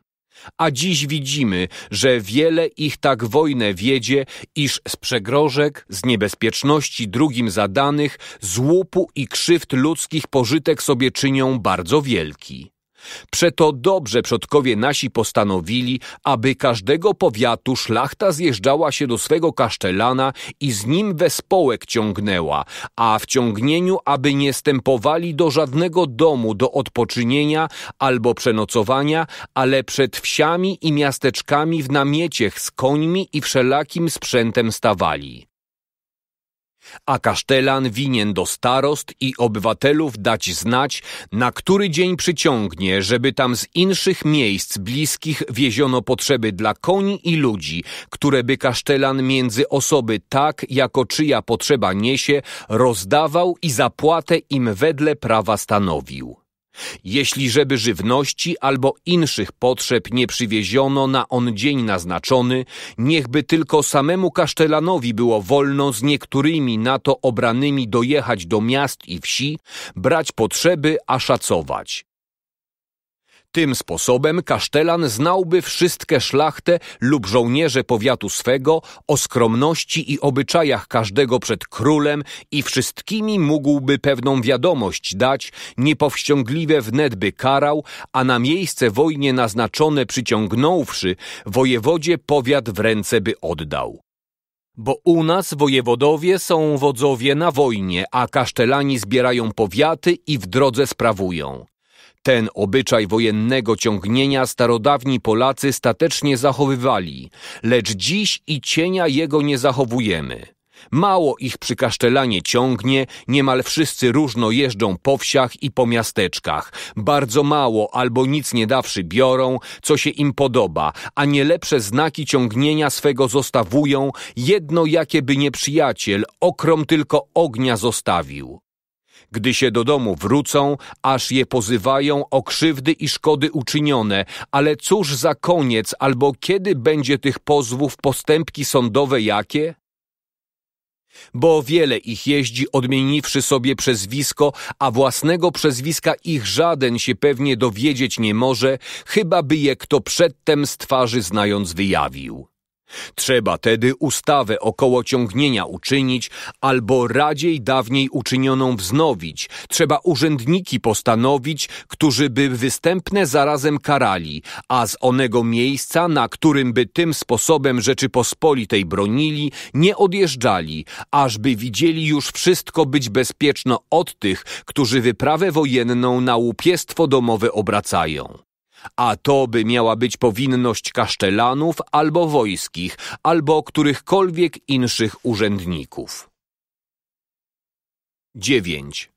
O zachowaniu żołnierzy w powinności ich, póki są w obozie, a jako wielka rzecz jest na wojnie sława i dobre mniemanie. Gdy się wojsko na jedno miejsce ściągnie, szkodliwa rzecz jest dopuszczać żołnierzom próżnowania. Bo jeśli rzecz przykra, człowieka jednego próżnującego karmić, a wszystek dom jeszcze przykrzejsza, zaiste nader dokuczna być musi, całe wojsko próżnujące chować. A przeto, gdy wojsko od wielkich a statecznych spraw wolny czas ma, aby żołnierze nie nikczemnieli, a w zbytek i w rozkoszy się nie wdali, niech im igry albo gonitwy, jakie wydawają, ustawiwszy temu, kto wygra zapłatę jako uczynił Eneasz, który próżnującemu wojsku tym sposobem igry wydał. prima cite teucris ponam certamina classis, quique pedum cursu valet, et qui viribus audax. Aut jaculo incedit melior, levibusque sagitis. Seu crudo fidit pugnam committere cestu. Cuncti adsint meritaque expected premia palme. To jest, pierwsze boje niech będą chufu porywczego. Każdy z tewkrów niech znaki poda męstwa swego, kto prędki do zawodu, kto oszczepem bije, albo z łuku tęgiego, kto strzałami szyje, albo ciężkim kieścieniem, kto umie szermować, wystąpcie, obiecuje, kto wygra, darować. Takimi igrami żołnierze i od sprośnego zbytku będą odwiedzeni i chęcią sławy będą pobudzeni do powinności cześć przynoszących i takowym częstym ćwiczeniem dużność ciała zachowają i gotowszymi będą do statecznej potrzeby. I mniemanie o sobie dobre u nieprzyjaciela zjednają, które samo tylko częstokroć wielki strach zadawa nieprzyjacielowi, a zasie zleniałość, rozkoszy, obżarstwo czyni czyni żołnierze niedbałymi, a straciwszy o sobie dobre mniemanie, najmniej nie są straszliwymi. Sławna jest rota cesarza tureckiego, którą janiczary zową, a zaprawdę ci ludzie dla osobliwej karności i ćwiczenia rycerskiego godni są zalecenia przez co też niedawno dla samej tylko sławy ciągnienia ich wojska chrześcijańskie tak się bardzo polękały i potrwożyły w Węgrzech, iż żadnej bitwy nie stoczywszy, kilkakroć ustępować musiały. Sami też Turcy niektórych chrześcijanów kochaną pieszczotę i rozkoszy tak dobrze wiedzą, iż ilekroć z nimi bitwę stoczyć myślą, powiedają, że się z wieprzami karmnymi potykać mają. Tak wiele w sercach ludzkich waży mniemanie o męstwie albo o nikczemności czyjej wzięte, a utwierdzone. Mają się wtedy o to pilnie starać żołnierze, aby się igrom i rozmaitemu ćwiczeniu zwyczaili, a radami dobrymi przygotowali do trudnych, a ciężkich marsowych spraw, próżnowania, obżarstwa i wszelkiego zbytku, aby się jak najjadowitszej zarazy wystrzegali, a pracy, trzeźwości i mierności się trzymali. Bo od tych jakoby źródeł łacno u ludzi i u obcych narodów w sławę przyjdą, a do wykonania wykonania dobrze powinności swej szczęśliwie przeciw nieprzyjacielowi pociągną. 10. Żołd na czas naznaczony ma być płacon. Mają też być postanowione zapłaty dobrze zasłużonym, a nikczemnym karanie a iż męstwu rycerskiemu dostojeństwa trzeba dawać, tedyć i o to się winno starać, aby powinny żołd każdemu służebnemu na pewny czas był zapłacon. Bo więc o mieszkanie i przewłoka zapłaty bardzo przykra jest każdemu robotnikowi, ale ze wszech najprzykrzejsza ono najcięższe marsowe brzemię noszącemu bo czyni żołnierza ociętnym, rozkazania hetmańskiego nieposłusznym, za czym i zamieszanie czyni i myśli, jakoby z onej służby wystać. Lecz jeśli żeby się tak trafiło, żeby hetman na ten czas pieniędzy nie miał, wtedy dobrotliwością, dobrą nadzieją, a obietnicami żołnierze mają być w powinności zatrzymani ale zatem pilności trzeba przyłożyć, aby ci, którzy gardła swoje na każdy czas dla ojczyzny pokładają, w zapłacie zmówionej nie byli oszukani. Zaś którzy przeciwko nieprzyjacielowi zacnie, a mężnie sobie poczęli, tym poczciwością i zapłatą to niech będzie nagradzane. Bo to jest sprośna rzecz, aby ci, którzy się w niebezpieczność śmierci dla ojczyzny wdali, nie mieli godnej męstwa swego i cnoty swej zapłaty odnieść, a pochlebcy, lichwiarze i którzy pieniądze zbierać umieją, wszelakich pożytków używać mieli. Za dawnych czasów tak wielkie baczenie miano na ludzi mężne, którzy broniąc ojczyzny mężnie sobie poczynali, albo czego zacnego dokazali, iż z niewolników wolnymi, a z chłopów szlachcicami je czyniono i inszymi dobrodziejstwy im nagradzano, a gdzieby słusznej zapłaty nie stawało, wtedy im wżdy albo przezwisko jakie zacne, albo ozdoby jakie osobliwe ku ich zacności przydawano. Stąd, że były one wieńce nazwane od miasta, od muru i od oblężenia, które dawano, gdy kto mieszczanina obronił, na mur dla odegnania nieprzyjaciela wskoczył albo z oblężenia swoje wybawił. Stądże ozdoba pierścieni, których tyle nosić dozwalano, ile było potrzeb, w których on bywał. Stąd też one tytuły ojciec ojczyzny, numidyjski, afrykański. Stąd, że piszczkowie i lane świece, które dozwolono było jawnie miewać przed sobą Duiliusowi, gdy od wieczerzej albo w nocy z dworu szedł dla męstwa, którego w bitwie przeciw Kartaginensom mężnie dokazował. Stądże procesje, triumfy małe i wielkie, które i świadectwem były jawnym męstwa w wielkich potrzebach dokazanego i znakiem wdzięczności Rzeczypospolitej przeciwko ludziom dobrze zasłużonym, a były jakoby pobudki pobudzające drugich ku bronieniu Rzeczypospolitej.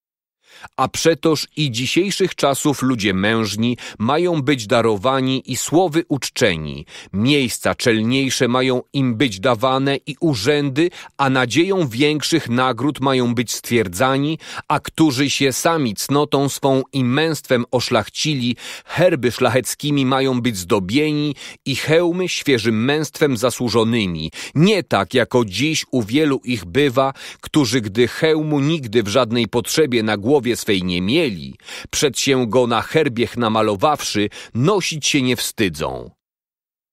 Niechajby im też było wolno i ozdoby złote nosić, które albo z nieprzyjaciela zdarli, co Manilius uczynił, jako historie rzymskie świadczą, gdy poraziwszy nieprzyjaciela, a łańcuch złoty krwawy z niego zdjąwszy, zarazem go i z przezwiskiem Torkwata na się wziął, albo go jakim inszym zacnym uczynkiem dostali, a niechby je zdejmowali z tych, którzy nie mają tej wolności, aby je nosili. A gdy to wnidzie w obyczaj, będą się wstydać ci nikczemnicy popisować się jawnie złotymi łańcuchami. Aleć zaprawdę takim zasłużonym żołnierzom godziłoby się majętności jakie dawać, gdzieby i oni przyszedłszy do starości sobie odpoczynęli i drugim przykładem do zasługowania Rzeczypospolitej i do mężnych uczynków byli.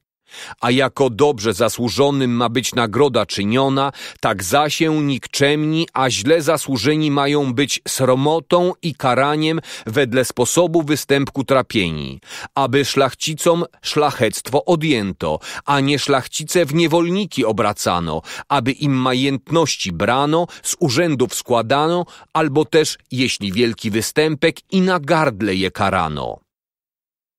W Rzymie ten bywał obyczaj, iż jeśli wiele ich w rycerskiej posłudze występku się jakiego dopuścili, wtedy na kogo los padł, niektórych karano, aby na wszystkich przyszedł strach, a na niektórych karanie, o którym obyczaju Cicero, czyniąc rzecz za Cluentiusem, zmiankę czyni.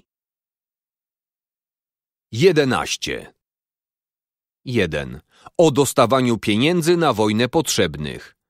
Dwa. Dwojakim sposobem u nas bywa wojna. Jeden, gdy sama szlachta pospolitym ruszeniem na wojnę jedzie, drugi, gdzie żołnierze za pieniądze najęci wojnę służą.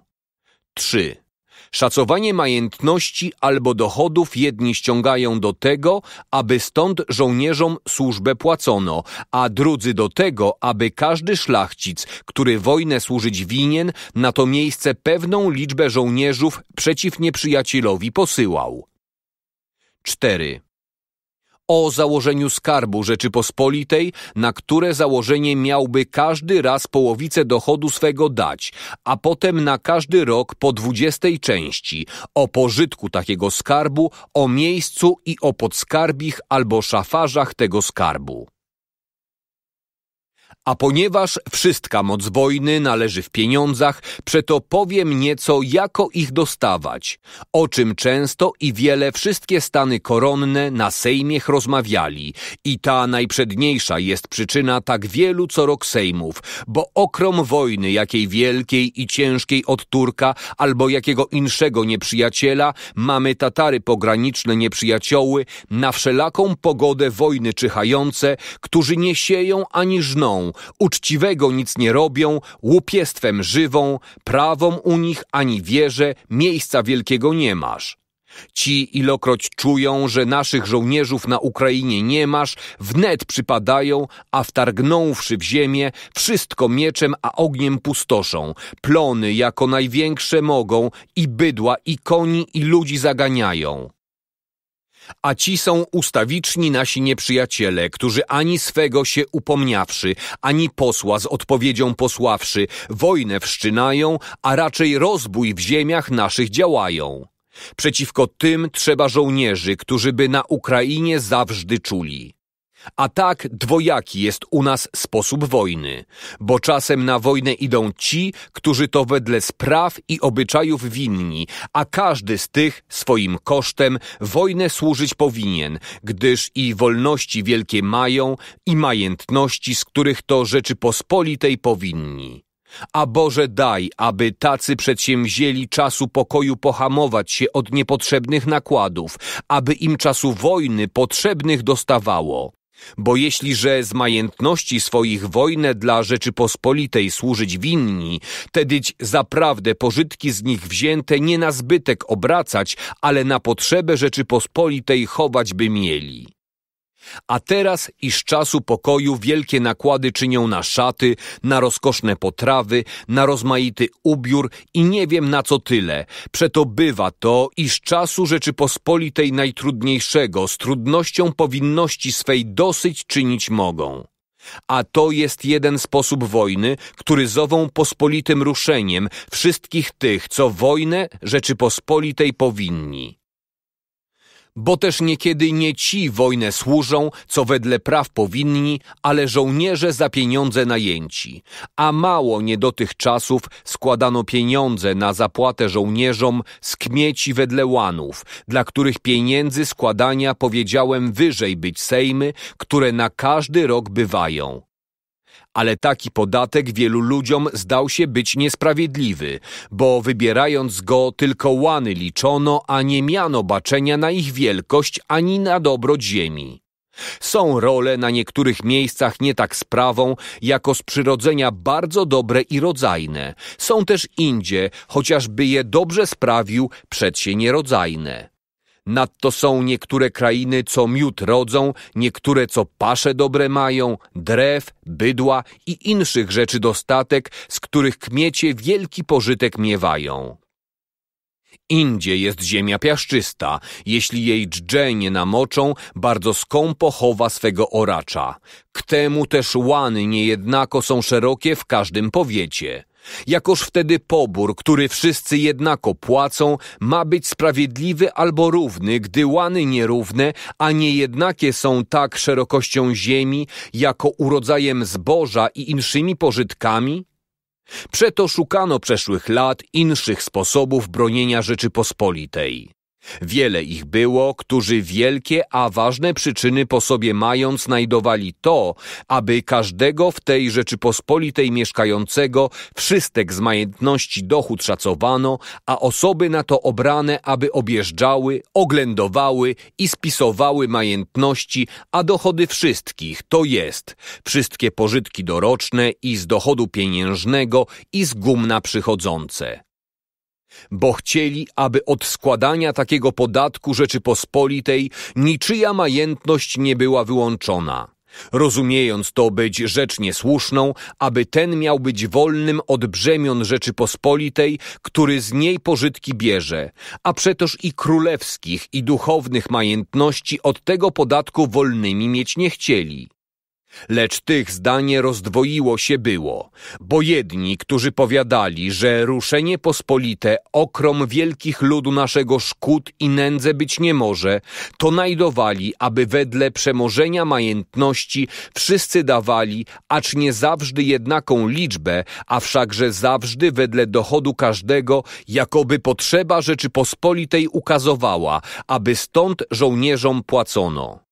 Drudzy, którzy tego mniemania byli iż rozpustność szlachty na wojnę idącej może być hamowana i mogą być w przystojnej powinności zatrzymani, powiadali, że nie trzeba żadnych pieniędzy dawać, ale niechajby ustawiono, aby każdy wedle majątności swej pewną liczbę jezdnych albo pieszych na wojnę stawił, którzy jezdni i piesi, aby albo wszyscy we spółek, jeśli by wielkiego odporu nieprzyjacielowi trzeba, szli ku potrzebie, albo jeśli by niewielka była potrzeba, jako owe tatarskie co rok bywają, wtedy jaka pewna liczba tych jezdnych i pieszych niechaj by szła. A iżby to tym snadniej mogło być, niechajby wszystkie tych krain powiaty na siedm albo na ośm części podzielono, dawszy im takie przezwiska, aby każda część rok na wojnę wyprawowała, a po wyjściu roku, aby drudzy na ich miejsce następowali. A tym sposobem, gdyby jedni po drugich następowali, obeszłaby się powinność służenia wojny po wszystkich częściach wszego państwa a każda z owych części miałaby wojewodę swego jednego albo i więcej, którzy by jej wodzami byli, ponieważ wojewodowie wedle starodawnych ustaw są hetmany powiatowymi na wojnie. Który sposób wojny, kiedy by do skutku był przywiedzion i nie byłby bardzo ciężki i wielkie by pożytki Rzeczypospolitej przynosił, bo i młodzieńce czyniłby ćwiczeńszymi i ojce ich do gotowania zbroje i broni wszelakiej, koni, wozów i inszych wojennych potrzeb pilniejszymi. A póki by jedna część ziemię wojnę służyła, druga by doma odpoczywała. Wszyscy by zbytku zaniechali, a czekając koleje służby swej, pilnować by musieli spraw potrzebnych bo jedni musieliby sami iść na wojnę jako ci, których to jest powinność, to jest szlachta. Drudzy, aczkolwiek by sami nie szli, ale by miasto siebie jezdne i piesze wyprawowali, jako król i duchowieństwo, bo król wszystkich części Rzeczypospolitej pilnie doglądając, na długi czas od niej nie może odjeżdżać, za czym aż czasu pospolitego ruszenia na wojnę jeździ a księża na ten czas wolni, bo bawiąc się kościelnymi sprawami albo nabożeństwem, srogą marsową bronią bawić się nie mogą, czym pilniejsze staranie uczynić by mieli, aby takie na miejsce swe Rzeczypospolitej namiestniki dawali, którzy by jej przeciwko nieprzyjacielowi pożyteczną posługę uczynić i mogli i chcieli. Jeśli by który z onych namiestników nie taką posługę w ten czas uczynił, jaką Rzeczypospolitej powinien, niechaj będzie mian za obrazcę Rzeczypospolitej, a wedle ustawy niechaj będzie karan. Ten ci sposób wiedzenia wojny przeszłych lat w Radzie kilkakroć rozbierano, który iż jest przystojny i bardzo pożyteczny tej Rzeczypospolitej, nigdy od wojny nie odpoczywającej, dziwna rzecz, dlaczego odrzucon. Wszakże co się za winą bądź czasu, bądź ludzi stało, mogłoby się pospolitym wszystkich stanów zezwoleniem nagrodzić o czym można by nieco podać między posły ziemskie na Sejmie, bo każdy z tych, którzy na Sejm bywają posyłani, mógłby liczbę jezdnych i pieszych powiatu swego powiedzieć, do czego przystąpiłyby zdania wojewód i kasztelanów i starostów, albo i inszych, którzy by byli wszego w onym powiecie świadomi, o którym by rzecz była, tak iżby się wielka omyłka w takiej liczbie stać nie mogła ale by się daleko dowodniej ta rzecz sprawić mogła przez tych, którzy by byli na to obrani, aby jeździli do każdego majątności, oczyma swymi wszystko oględowali, albo się też z powieści drugich dowiadowali, a to wszystko spisaliby na rejestr, a potem na Sejmie podali. Łacnyć też jest i ten rachunek, którego starostowie nasi używają, gdy wedle wyroku posyłają tego, co prawo wygrał, do majętności tego, który prawo przegrał, na wwiązowanie tak, iż gdzie jest jedna grzywna czynszu na rok, albo miasto czynszu przychodzą z rolej dwanaście korcy żyta, aby to szacowano na dziesięć grzywien naszych. Tymże sposobem niechaj szacują drugie dochody. Rozbierano też to między sobą, wiele grzywien albo złotych w majętności mają wyprawować jezdnego jednego, a piesze z czego by wyprawować można? Wiele ludziom zda się to być za rzecz słuszną, aby ten, czyja majętność szacowana być może za trzy tysiące złotych, jednego konia na wojnę godnego ustawicznie chował i zbroję dobrą miał, aby, skoro potrzeba przypadnie, na wojnę bez omieszkania jechał. Dwaj, z których każdy ma majętność za półtora tysiąca złotych, niechby jednego konia stawili, a tak każdy wedle przemożenia majętności swej, niechajby na wojnę jechał których by majętność na mniejszą sumę szacowana była, ci niechajby pieszo wojnę służyli tak, aby pięćset złotych jednego pieszego wyprawowało. Pożytek też, który by z czynszu szedł, jest też zaprawdę taki, że go nie trzeba lekceważyć, iż chociażby go dawano pieniędzmi, choćby żołnierze stawiano, nie leda jakoby Rzeczpospolitą w tym oszukać możono. Jest ten, który z majętności swej powinien stawić na wojnę sto koni. Ten podobno wszystek swój poczet zebrał z tych, z których każdy z majętności swej powinien konia stawić. A wedle naszego obyczaju wszystek on poczet to jest dziewięćdziesiąt i dziewięć jezdnych, nie winien by osobno nakładu na wyprawę wojenną czynić dlatego, bowiem by każdy z nich już dwie osobie na sobie niósł ponieważ by razem i w poczcie onego, komu służy, był i powinności swojej dosyć by czynił, którą z majętności swej Rzeczypospolitej właśnie winien. Ale a za tym sposobem Rzeczpospolitą nieznacznie oszukiwają, gdy miasto sta, dziewiąci dziesiąt i dziewiąci jezdnych tylko sto na wojnę idzie, a kiedy by dochód czynszowy szacowano, niełacno by się liczba umniejszyła albo żołnierzy, albo pieniędzy, które by każdy z dochodów gruntu swej Rzeczypospolitej był powinien.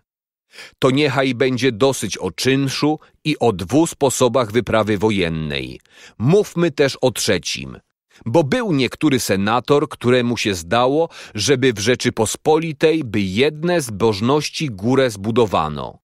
Tak on zwał one spółki lub pieniądze, które by wszyscy wedle możności swej każdy raz zrzucili, a potem by tych co rok przyczyniali. Ale i ten sposób i insze, którem powiedział, ilekroć bywały podawane, tylekroć też zarazem i odrzucane. Dziwne bowiem są naszego narodu dowcipy, każde nowe, a niesłychane rady, by nie wiem jako uczciwe i pożyteczne były, przed się je zarzucają. Co rok się przeto na sejmy zjeżdżają, z wielkimi je zjazdami wszystkich stanów sprawują, koszty wielkie na nich wiodą, wiele czasu na biesiadach trawią, a na ostatku na kmiecie i na mieszczany podatek ustawiają to koniec, to kres wszystkich rad, który, gdy przyjdzie, już ani sądzą, ani o poprawieniu praw wiele myślą.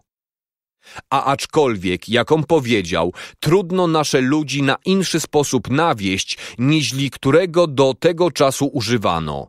Wszakże ponieważ żem już dwa sposoby ukazał, wyłożę i ten trzeci, a zawsze, kiedy albo czas, albo chęć nasza przywiedzie nas do tego, abyśmy się którego z nich chwycili.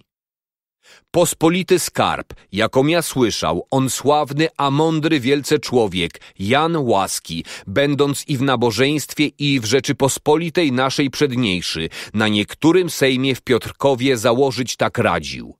Niektóre summy zwał pierwszymi, drugie wtorymi, a niektóre trzecimi. Pierwsze summy rozumiał połowicę pożytków, którą aby każdy raz oddał, za to miał, żeby było dosyć, licząc za pożytki i czynsze gotowe i co się z gumna przychodzi. Za które summy liczył, żeby co rok dwudziestą część tychże dochodów każdy dał.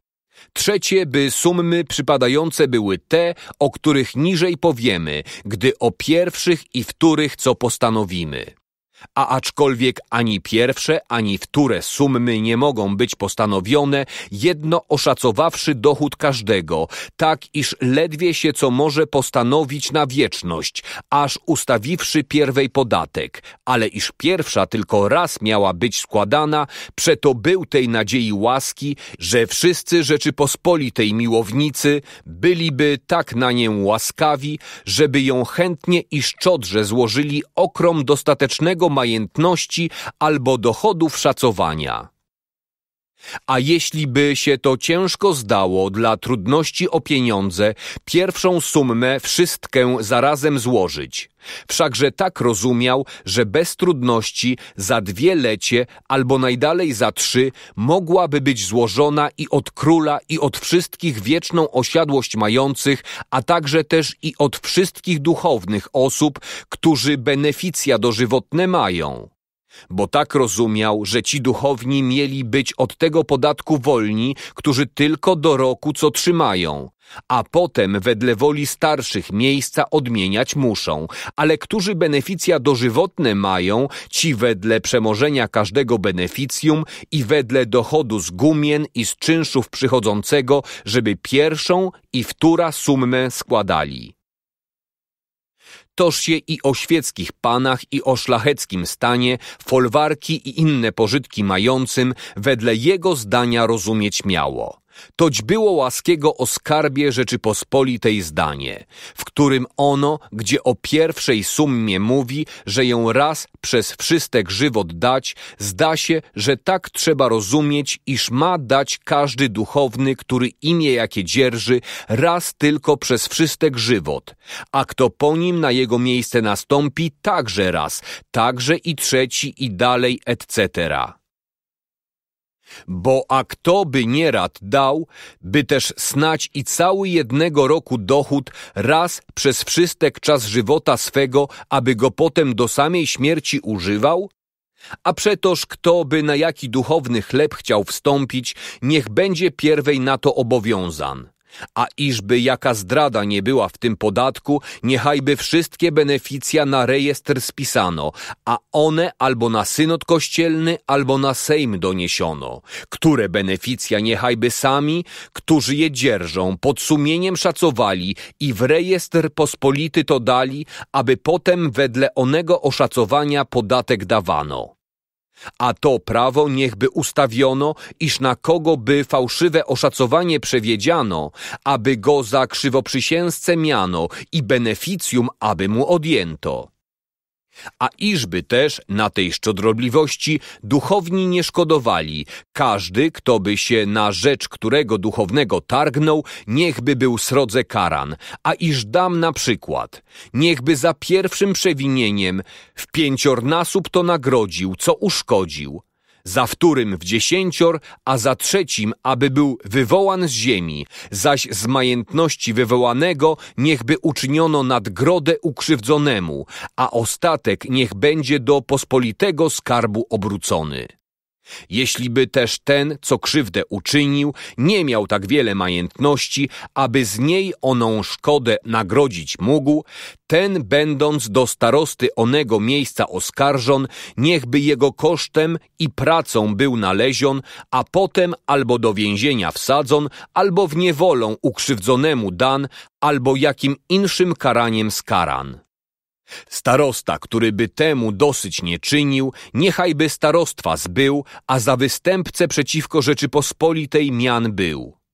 Co jeśliże duchowne stany, którym wolności wedle praw i obyczajów naszych dane są, tak wielką szczodrobliwość przeciwko Rzeczypospolitej pokażą, a co rozumiesz przystoi czynić ludziom świeckim, którym bronienie Rzeczypospolitej właśnie należy, którzy majętności swej pewne dziedzice mają, którzy wiele przywilejów albo wolności od Rzeczypospolitej używają? Zaprawdę, gdy jedna część złoży taki podatek, niesłuszna będzie rzecz, aby się drugie wolnościami, jakimi w tym zastawiać miały. Wszyscy się wieziemy jakoby w jednej łodzi Rzeczypospolitej. Gdy jeden członek ciała trapienie jakie cierpi, drugim żywot nie może być, a czego Boże uchowaj. Gdyby nieprzyjaciel burzył, w jednej niebezpieczności byłyby majętności wszystkich, tak świeckich, jako i duchownych. Tego nie wiem, jeśli w liczbie ten podatek składających mają być policzeni mieszczanie i owi, co się w miasteczkach rolą żywią. Bo kmiecie zda mi się, że zgoła od tego mają być wolni, ponieważ i na każdy rok dawają czynsze panom swoim i na każdy dzień robią, a zaprawdę nie tylko, że wielkie a ustawiczne z nich pożytki idą, ale też mało je nie za niewolniki albo za bestie mają. I rozum tedy i przystojność radzi, aby ci, którzy ledwie kiedy wytchną od ciężkich brzemion, wytchnęli wżdy od takiego podatku. Ale o mieszczanach, którzy rolę mają, co mam mówić? Nie słyszę, aby każdego z nich miała być tak wielka majętność, żeby do składania pierwszej sumy wiele pomóc mogli, z której ledwie sami siebie z czeladzią na rok wyżywić mogą. K temu jawna to rzecz jest, że częstokroć oni przedawają role swoje, a drudzy też na insze majętności przychodzą. A nie widzę, kto by chciał pierwszą sumę dać z roli, którą drugiego albo trzeciego potem roku ma przedać. Mniemam wtedy, żeby dosyć na tym było, aby oszacowano ziemię tych mieszczan, z których każdy wedle przemożenia majętności niechajby na każdy rok do wtórej summy dawał dwudziestą część pożytków dorocznych. Tożby się niechaj rozumiało o majętności szlacheckiej, w której kmieci nie masz o kupcach, rzemieślnikach i szynkarzach, którzy żadnej ziemi nie mają, ale dowcipem swym żywności szukają, trudno co pewnego może być stanowiono. I zda mi się, żeby lepiej, aby to było poruczono urzędowi miejskiemu, który mając przed oczyma majętności rzemiosła mieszczanów swoich, łacno wiedzieć mogą, jako wiele na rzecz pospolitą dawać mają. Widziałem, że się tak w niektórych rzeczach pospolitych zachowuje, iż kupcy i rzemieślnicy, którzy za staraniem swym wielkie pożytki miewają, pod przysięgą zeznawać muszą wiele, który zyskał.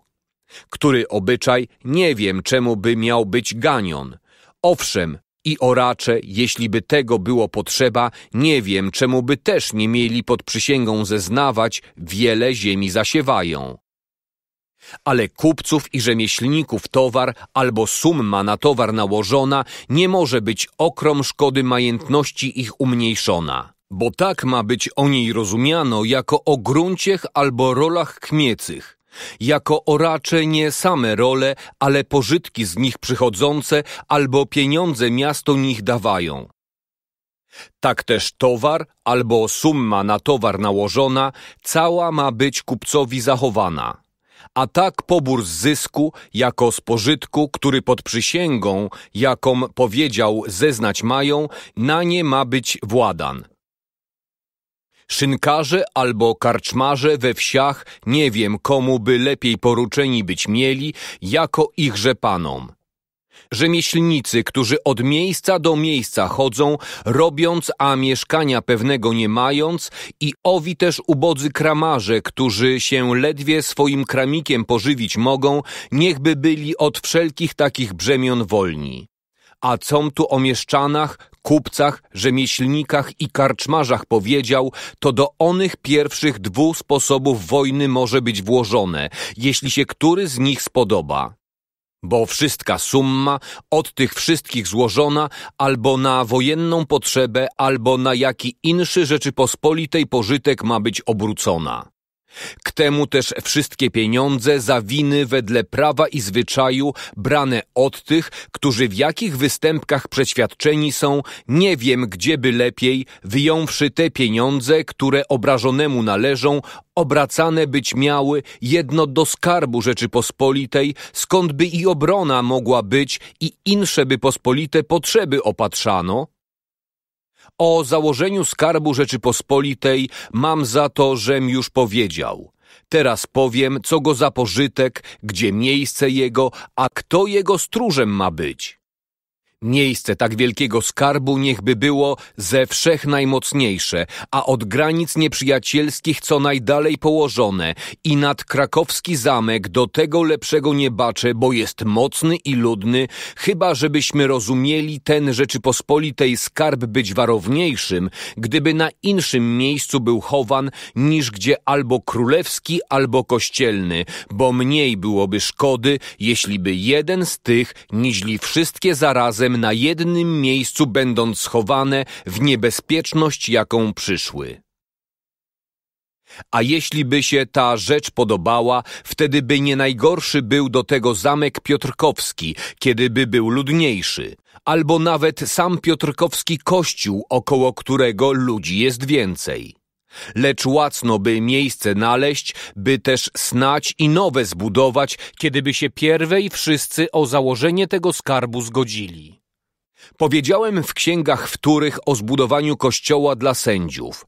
Podle tego kościoła niechaj by było wielkie budowanie, które od fundamentu niechby miało gmachy murowane, a zasklepione. W tych niechby chowano ten Rzeczypospolitej skarb, a w gmachach wierzchnych sprawowaliby sędziowie sądy.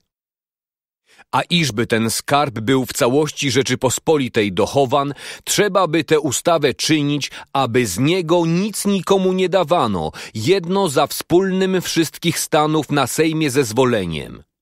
Niechby byli trzej, którzy by tego skarbu strzegli, jeden z Wielkiej Polski, drugi z Małej, a trzeci od króla na to postanowiony. Między tymi niechby jeden był duchowna osoba, a wszyscy niechby byli przysięgą obowiązani. Przy odbieraniu pieniędzy do skarbu i przy szafowaniu dawaliby i brali cerografy, a liczbę z odbierania i wydawania czyniliby wszyscy wespołek na każdy rok na Sejmie albo przed tymi, którzy by od wszystkich na to byli wysadzeni. Lecz by tego trzeba pilnie przestrzegać, aby żadnemu z nich, jednemu bez drugiego, nie wolno było nic wziąć do skarbu, ani też komu dawać skarbu jedno wszystkim we spółek. Ci, którzy by te pieniądze wybierali, a do skarbu do onych trzech starszych donosili, mogliby poborcami być zwani, a mieliby też być ludzie znaczni i przysięgą obowiązani. Ci braliby kwity od starszych skarbnych, a starsi za się od tych dla okazania wspólnej ich wierności na Sejmie przed tymi, którzy by byli na przesłuchanie liczby od wszystkich wysadzeni. Skąd by się okazała pewna wiadomość pieniędzy wziętych do skarbu i wydanych? A tym skarbnym godziłoby się mieć dom przy tym miejscu, w którym by skarb chowano. Teraz zaś obaczmy, co by za pożytek skarbu tego mógł być. Lecz byłby zaprawdę bardzo wielki, bo byłby jako jedna spina albo cięciwa wojny na każdego nieprzyjaciela. Przeciwko Tatarom byłby ten skarb bez mała nigdy nie przebrany, a przeciwko drugim albo by go było dosyć, albo by jednak na bardzo wielkiej pomocy był. Ano do każdej takiej sprawy jest rzecz wielce potrzebna. Mieć pieniądze w pokładzie, bo trudno ich dostać, kiedy potrzeba, a dla tegoż wojska albo później, niżli trzeba, bywają zebrane albo rychlej rozpuszczane i wiele się czasem do dobrej albo jakiej zacnej sprawy dróg opuścić musi a k temu nie tak by się bardzo wszystkich majętność wątliła i ubożyła, gdyby połowice pożytków raz przez wszystek żywot każdy dał, a potem na każdy rok po dwudziestej części, niżli gdyby dla jakiej gwałtownej potrzeby za jednym razem miała być wszystka majętność wyniszczona, a jakoby wywrócona. Z tegoż skarbu onym sędziom, o których w księgach, w których powiedziałem, niechajby dawano na każdy rok dwanaście set złotych, a stróżom skarbnym trzysta złotych na potrzeby. O opatrzeniu inszych potrzeb tym sędziom ku żywności należących w tychże księgach, w których powiedziałem. Takim też tego skarbu założeniem i postanowieniem wybawilibyśmy kmiecie nasze z tej ustawicznej niewoli, którego pożytku nie leda jako sobie zaiste ważyć mamy, ponieważ nadeń nie wiem, który by mógł być większy. Każdy baczyć może, że żywot kmiecy nie jest od niewolniczego różny. Do ziemię, a do pługu ustawicznie są przywiązani. Na każdy dzień albo sobie, albo panu robią. Wiele ich jest, co im chleba ledwie do półrocza dostawa, a ostatek roku wielkiej nędzy wykonywają którzy między nimi są bogatsi, ci wiele krzywd odnosić muszą. Ano źli panowie różne fortele, jako je łupić umieją. Bo kmieć nie może się na swego pana przed nikim skarżyć, ani go pozwać. Na każdy rok dawają i panom, i plebanom. Jeśli który rok od podatku jest wolny, co się za mego wieku kilkakroć trafiło, przed się pod zasłoną wojennej wyprawy muszą swoim panom często dawać a tak tylko imię podatku odmieniają, ale rzeczy nigdy. Nie wiem, jeśli egipska niewola była nad tę kmiecą większa, a więc tego mniemania nie będziem, że to rzecz wielce słuszna i miłosierdzia pełna, gdyby wżdy od tego podatku byli wolni? Z sługami, którzy się na rok u nas najmują, tak się zachowujem, że im i strawę, i odzienie, i pieniądze dawamy a to ani nam, ani Rzeczypospolitej z tego nic nie dawają. A kmiecie co inszego są, jedno wiecznie niewolnicy z dziećmi i z czeladzią swą? A zaż nie dosyć na nie, że ustawicznie robią, na każdy rok i panom czynsze i plebanom dziesięciny dawają? Zaprawdę i bezprawie się dzieje i wielka się nieludzkość okazuje, gdy i te potrzebę bronienia Rzeczypospolitej na nie wkładają. Bo a któż tego nie wie, że dawniej niż my pomniemy, tych wszystkich Ukrain oni sami bronić poczęli? Bo a cóż na tym, choć sami bronią, choć tym płacą, którzy bronią? Ale choćby to płacić winni Rzeczypospolitej, a zaby już nie dosyć uczynili powinności swej? A zaby jeszcze nie czas na ich służby mieć baczenie? Toć należy na szlachecki stan, którzy się weselą z tej wolności, że mogą urzędy dzierżeć, majętności mają wielkie, żeby albo sami Rzeczypospolitej bronili, albo tym płacili, którzy by jej bronić mieli, a tym sposobem nagradzali Rzeczypospolitej łaskę przeciwko sobie okazaną. Co by im jednak nie trudno uczynić, kiedyby chcieli w zbytku jako miarę zachować albo zamierzyć bo a kto to oszacuje, jako wielkie nakłady bywają na kosztowne szaty, na czci, na łańcuchy złote? Tymi rzeczami i łaskę sobie jednają i z wielmożnością swoją u pospólstwa popisują. Boże daj, aby ci, którzy nowe podatki wymyślają, starali się też, aby jaką ustawę około nakładów uczynili bo jeśli byśmy się od niepotrzebnych nakładów powściągnęli, będzie skąd potrzebnych nakładów dodawać. Ja mniemam, żeby większy i trwalszy pożytek Rzeczpospolita wzięła z obrony tym kształtem postanowionej, niż z kmiecych podatków, by też snać i największych. Pan Bóg Wszechmogący uczyniłby to, żeby czasu złej przygody sam był wybawicielem i obrońcą naszym, jako Dawid król i prorok święty świadczy mówiąc Błogosławiony to człowiek, który ma baczenie na ubogiego, a potrzebnego. Czasu złej przygody wybawi go Pan którymiż wtedy obietnicami możemy być pobudzeni ku uczynieniu miłosierdzia ubogim, a nędznym, niedostatecznym kmiotkom, jeśli tymi bożymi nie będziemy pobudzeni, którymi nam błogosławieństwo i czasu złej przygody wybawienie obiecuje? A co wiedzieć, jeśli na nie tak srogimi być nie przestaniemy, nie przyjdzieli na to, że miasto błogosławieństwa przeklęstwo nad nami od Boga będzie wisiało, a czasu złej przygody nie najdziemy żadnego miejsca miłosierdzia? Wielki tedy pożytek rozumiejmy być skarbu Rzeczypospolitej, o którym powiedziałem, jeśli przezeń kmiecie nasze z tej niewoli wybawimy. Przydajmy i czwarty pożytek niepośredniejszy, iż jeśli by Rzeczpospolita na ten czas żadnej obrony nie potrzebowała, albo by skarby wielkie miała, mogliby obywatele swoi, kto by chciał, z tego skarbu tyle pieniędzy pożyczać, ile by zastawy albo rękojemstwa na to mógł mieć.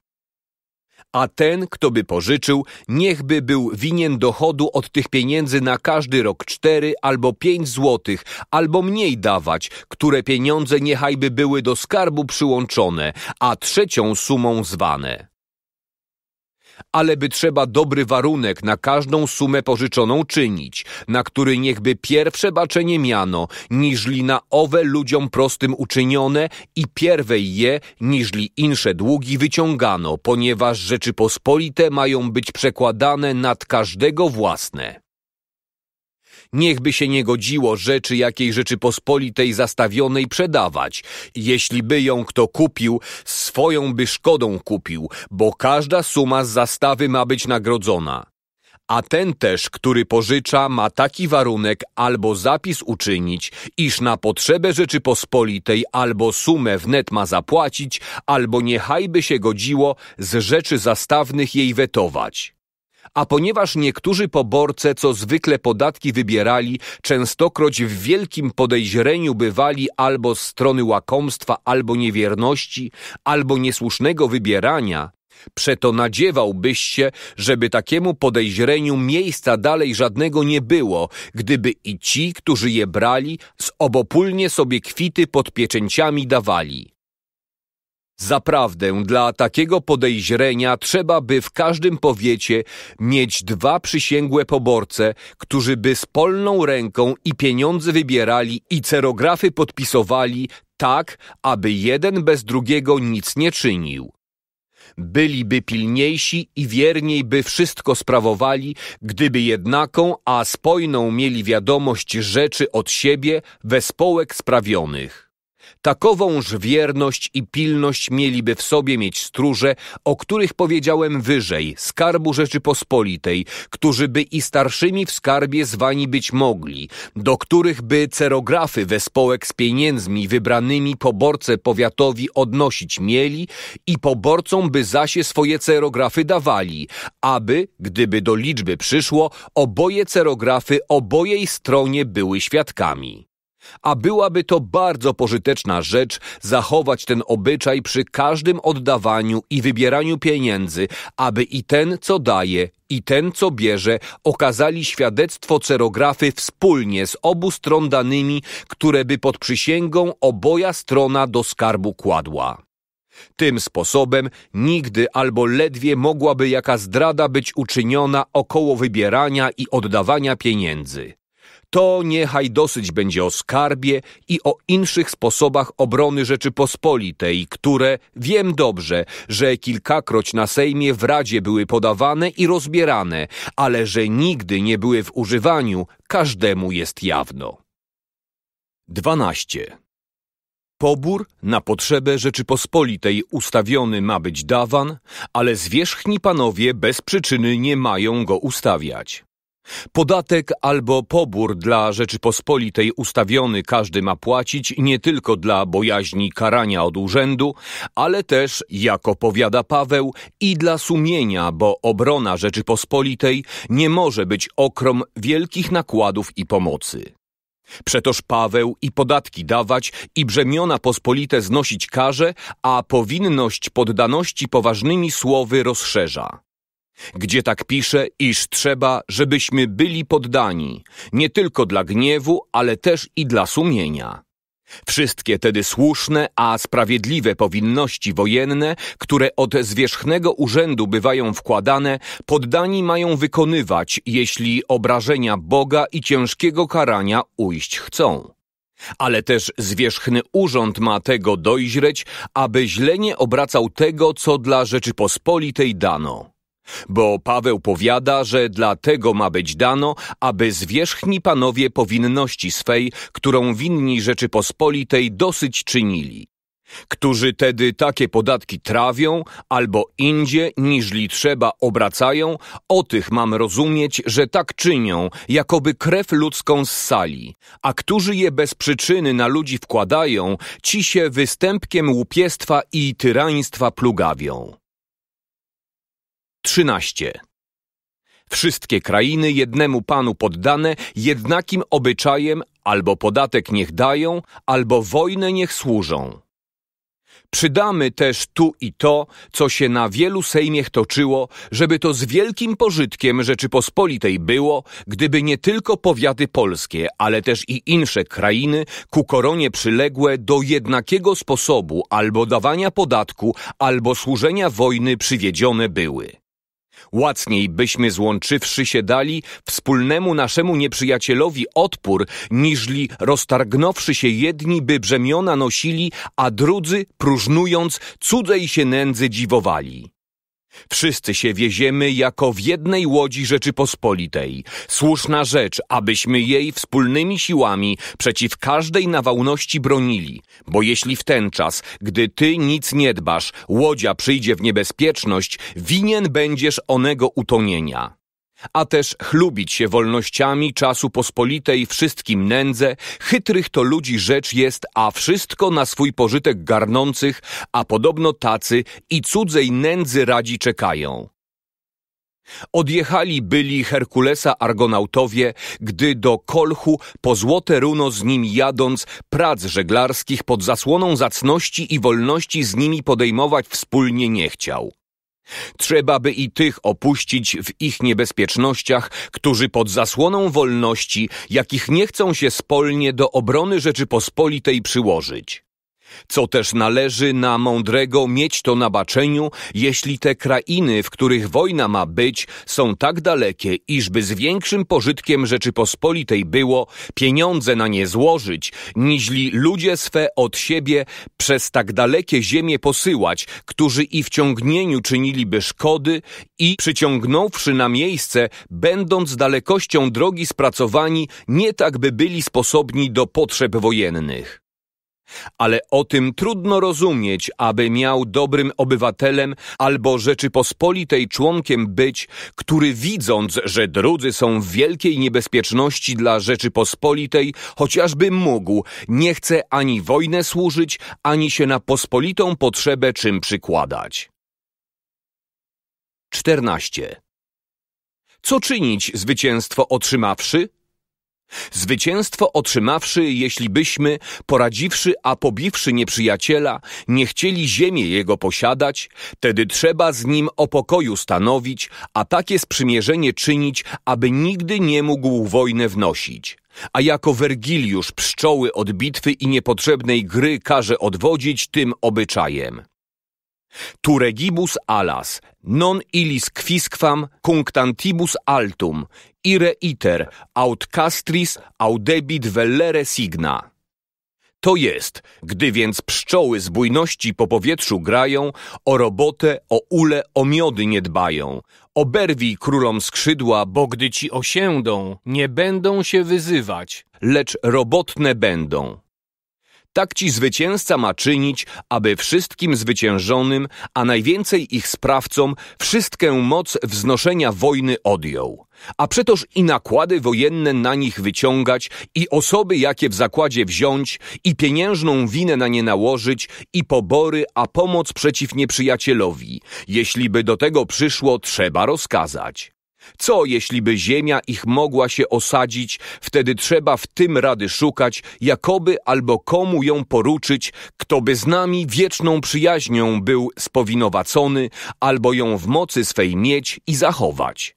Prawdziwie poeta powiedział Non minor est virtus, quam querere parta tueri to jest nie mniejsze męstwo rzeczy nabyte zachować, niźli dostawając ich z początku pracować. A przetoż, jeśli żeby ta ziemia nie mogła być zachowana okrom bardzo wielkich trudności i nakładów, które by się z niej snać nigdy nagrodzić nie mogły, lepiej, że ją albo samym zwyciężonym, albo komu inszemu, którego oby stateczność i przyjaźń nam wiadoma była, pod pewnymi umowami i kondycjami poruczyć. Ale jeśli by to mogło być z pożytkiem Rzeczypospolitej, żeby takowa ziemia pod naszym panowaniem być mogła, to jest, żeby się i sama swym nakładem bronić mogła i do naszych by się potrzeb pożytkami swymi zgodziła. Wtedy trzeba takiej rady szukać, abyśmy ją w pokoju, a obywatele jej z przyjaźne mieć mogli, opatrzywszy ją prawem i obyczajami dobrymi, także też o ubłaganiu i zachowaniu w powinności obywatelów jej, nad którą ziemią niechajby byli przełożeni ludzie swoi, którym by się mogło ufać, którzy by wszystką ziemią władnęli lecz z niej nie odjeżdżać, aż zostawisz żołnierze nasze, którzy by tam tak długo byli, póki by się obawiać trzeba albo sprzeciwieństwa obywatelów, albo wtargnienia nieprzyjaciół, albo jakiego ludu pogranicznego. A ponieważ pospolicie żołnierze i wiele kosztują i u ludzi nienawistni dla niepowściągliwości żywota i dla wszeteczeństwa bywają, a tak, że żaden ich posługi nie używa, aż w wielkiej niebezpieczności. K temu w krainie, w której pewnego mieszkania nie mają, tak żywą, jakoby jutro precz szli, za czym zawsze myślą o wyniesieniu tego, czego na wojnie dostali. Przeto, aby ona kraina była od wiela złego wyzwolona, a obywatelom by się też zagrodziła droga myślić co chytrze przeciwko nam, nie z drogi by było darować mieszkanie żołnierzom na onych miejscach, gdzie ich służby potrzeba, naznaczywszy im pewną część pola, aby tam i żenili się, i czelać domową chowali, i gospodarzmi byli. Nie byliby ani mierzieni, ani tak obciążliwi onej krainie, której by się już obywatelmi stali, a co dzień ją czyniliby spokojniejszą swoją przytomnością, wspólnym życiem, układnością, ludzkością i innych cnót okazowaniem ale by przed się żołnierzom nie trzeba nic dopuszczać, co by było skrzywdą obywateli, a to będzie mogło być, jeśli im albo żony z majątnościami dadzą, albo im puste grunty, a miejsca na budowanie naznaczą. Albo jeśli by to nie mogło być, wtedy do swej ziemi obywatele onej krainy przenieść ze wszystkim domostwami, a domy i role im naznaczyć, a ich grunty, domy i role dać tym, którzy by onej ziemię bronili, a pokoju i zacności naszej przestrzegali. A tymczasem one przychodnie namawiać, aby za dobre przyjęli, jeśli by się co przykro widziało przekładając im to, że ona ich kraina takiej obrony potrzebuje, a od postronnych ludzi, buntownych, a niespokojnych obywatelów Rzeczpospolita inaczej broniona być nie może. Wszakże, gdy się ona kraina będzie zdała być spokojniejsza, wtedy one żołnierze stamtąd wezmą. Ale aby się wiele nie mówiło, jakom w pierwszych księgach napisał około rządu Twej Rzeczypospolitej Królu, tak w ziemi Twej, jako na Ukrainie, tak czasu pokoju, jako czasu wojny, tak też i w każdej krainie, której byś dostał, postępować masz. Obywatele niech dobrotliwość Twoją pańską poznają, niech czują Ciebie być ojcem swoim i pasterzem, tak w sądziech, jako w karaniu krzywd i we wszech sprawach Rzeczypospolitej potrzebnych. Przełożeństwy i urzędami je ku czci wydźwigaj, do żołnierskiej służby, gdy się ich wierność pokaże, przypuszczaj i inne urzędy, które bezpiecznie możesz, na nie wkładaj. Tym sposobem serca ich sobie zniewolisz i przychylnymi uczynisz. To z tamtymi obywatelmi czyń, a z sąsiady pogranicznymi przymierze bierz, na wywołane, jeśli chcą pokorę uczynić, ustawiaj wedle występku winę pieniężną, a potem właskę przyjmuj, chyba by snać występek ich tak był, żeby dla niego żadnym sposobem do Rzeczypospolitej przyjęci być nie mogli. Jeśli że nie, tedy mają być przyjęci.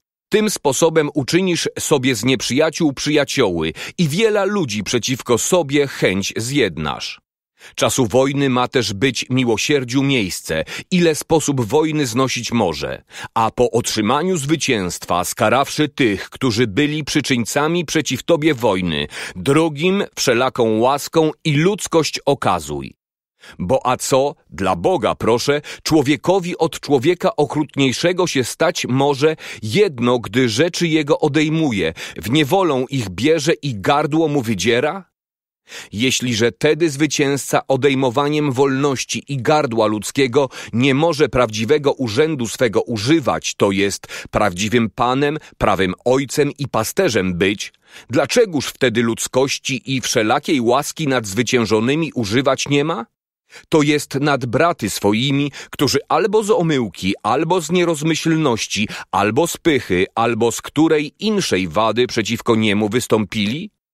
Chrystusa, onego śmierci i piekła zwycięzcę, słowa to są, którymi nam rozkazuje, abyśmy drugim odpuszczali, jako chcemy, żeby i nam odpuszczano.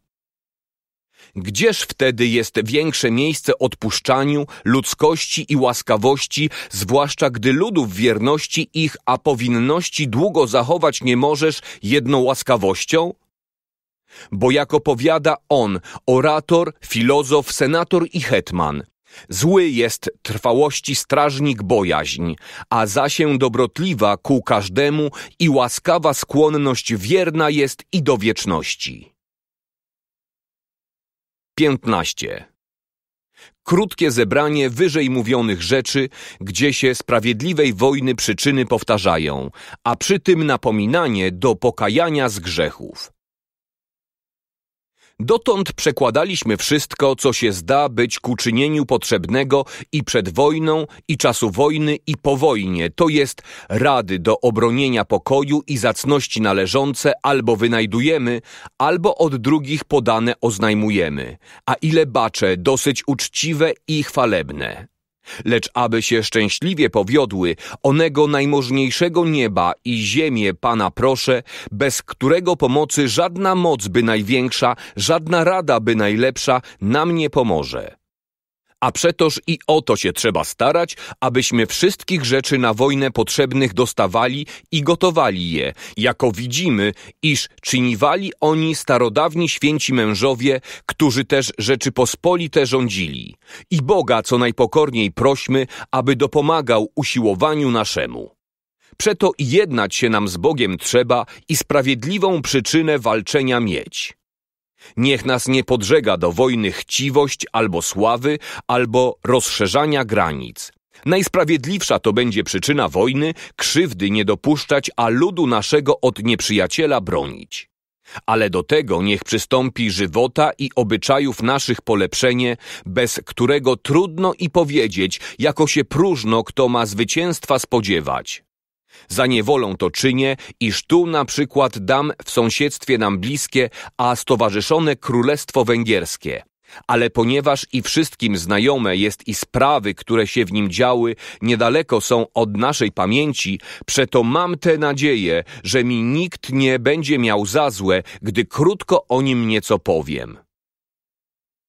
Było to królestwo starodawnością zacne i sprawami wojennymi sławne, i w złoto, a w srebro bardzo bogate, k temu w bydło wszelakie i w obfity urodzaj wina i wszelakiego zboża. A czegóż tedy temu królestwu nie dostawało do szczęśliwego na świecie życia? Miało króla za naszej pamięci, onego prawie świętego Władysława, króla naszego, a twego Auguście, ojca Zygmunta, brata rodzonego. Miało też potem Ludwika, twego stryjecznego brata. Oba wojnę z Turki wiedli, acz jako ja mniemam dosyć sprawiedliwą, bo się i krzywd swoich mścić chcieli, i ludu swego, a państw swoich bronili ale iż grzechy węgierskiej ziemi, bo tak musi mówić, bardzo były z brzegów wylały, przeto ją przemożono, a co najlepszą jej część nieprzyjaciel posiadł. Cóż wtedy? Czyli mocą turecką zwyciężona? Ja mniemam, że tak jest, ale też i to śmiem twierdzić, że Bóg turecką moc na lud swój pobudził, On je dla skarania złości ludu swego wyzwał, one łuki ciągnął i strzały wyostrzył i kopyta końskie jako krzemień i koła jako nawałność burzy i ryczenie ich jako lwie straszliwe im uczynił. Bo a przecz by mi się nie godziło tak o tym mówić, jako Bóg przez Izajasza proroka mówił, gdy na Żydy Nabuchodonozora puścić miał? Co jeśli, że Bóg Nabuchodonozora sługą swoim zowie, za którego sprawą Żydy poraził, a za nie będzie zwał Turka sługą swoim, przez którego Węgry skarał? O jako z wielką żałością ja o tym mówię. Lecz słuchajmy dalej. Po zginieniu króla Ludwika, dwaj królowie, niech mi się godzi, proszę o tym mówić i zdanie powiedzieć, co by nam i wszem monarchom na wzór było. Dwa tedy, jak opowiadam, królowie poczęli się spierać i wojnę wieść o królestwo węgierskie. Jeden, będąc od panów chrześcijańskich opuszczony, udał się w opiekę i w obronę cesarza tureckiego. Ale ten opiekun onego, co się do niego uciekł, naprzód się zwał przyjacielem, towarzyszem, bratem, a potem panem. Drugi król wojnę z Turkiem wiódł, wiele ludu i z Niemiec i z inszych narodów do Węgier wywiódł, ale cóż na ostatek sprawił? Wojska jego częścią porażone, miasteczka i miasta i zamków niemało, a nawet i samo stołeczne miasto wzięto, posiędziono, a obyczajmi i zabobonami tureckimi zarażono. Cóż wtedy mniemamy być przyczyną tego zwycięstwa tureckiego? A za nie widzimy, że Turek jest ten, przez którego Bóg i karze i karać będzie grzechy ludu swego? Których jeśli my karać nie będziemy, przyciągnie Turek sługa Boga żywego z końmi, łuki, strzałami i szablami swymi, nie inaczej, ach, aż mnie strach bierze o tym mówiąc, karać nas, jedno jako Węgry, sąsiady nasze skarał. O tych rzeczach i w uskarżaniu moim na kaźń za mężobójstwo dostatecznie, a tu krótko powiedziałem, abym Tobie, królu i ludowi Twemu do tego przyczynę dał, jakobyście o tym myśleli, bobym Wam tego życzył. Jeśli tedy nieprzyjaciela tego od szyj naszych odwrócić chcemy, starajmy się, abyśmy żywot nasz w lepszy odmienili bo obyczaje nasze skażone, wiara i powinność zaniedbana, żywot nieumiejący się kajać, wielką, a bardzo potężną mocą jest nieprzyjacielską przeciwko nam. A zaś tak rozumiejmy, że najprzedniejsza zbroja i broń nasza w pokajaniu, a w modlitwie należy, którymi byśmy rzeczami Boga ubłagali, a tak wielkie nędze od nas odegnali.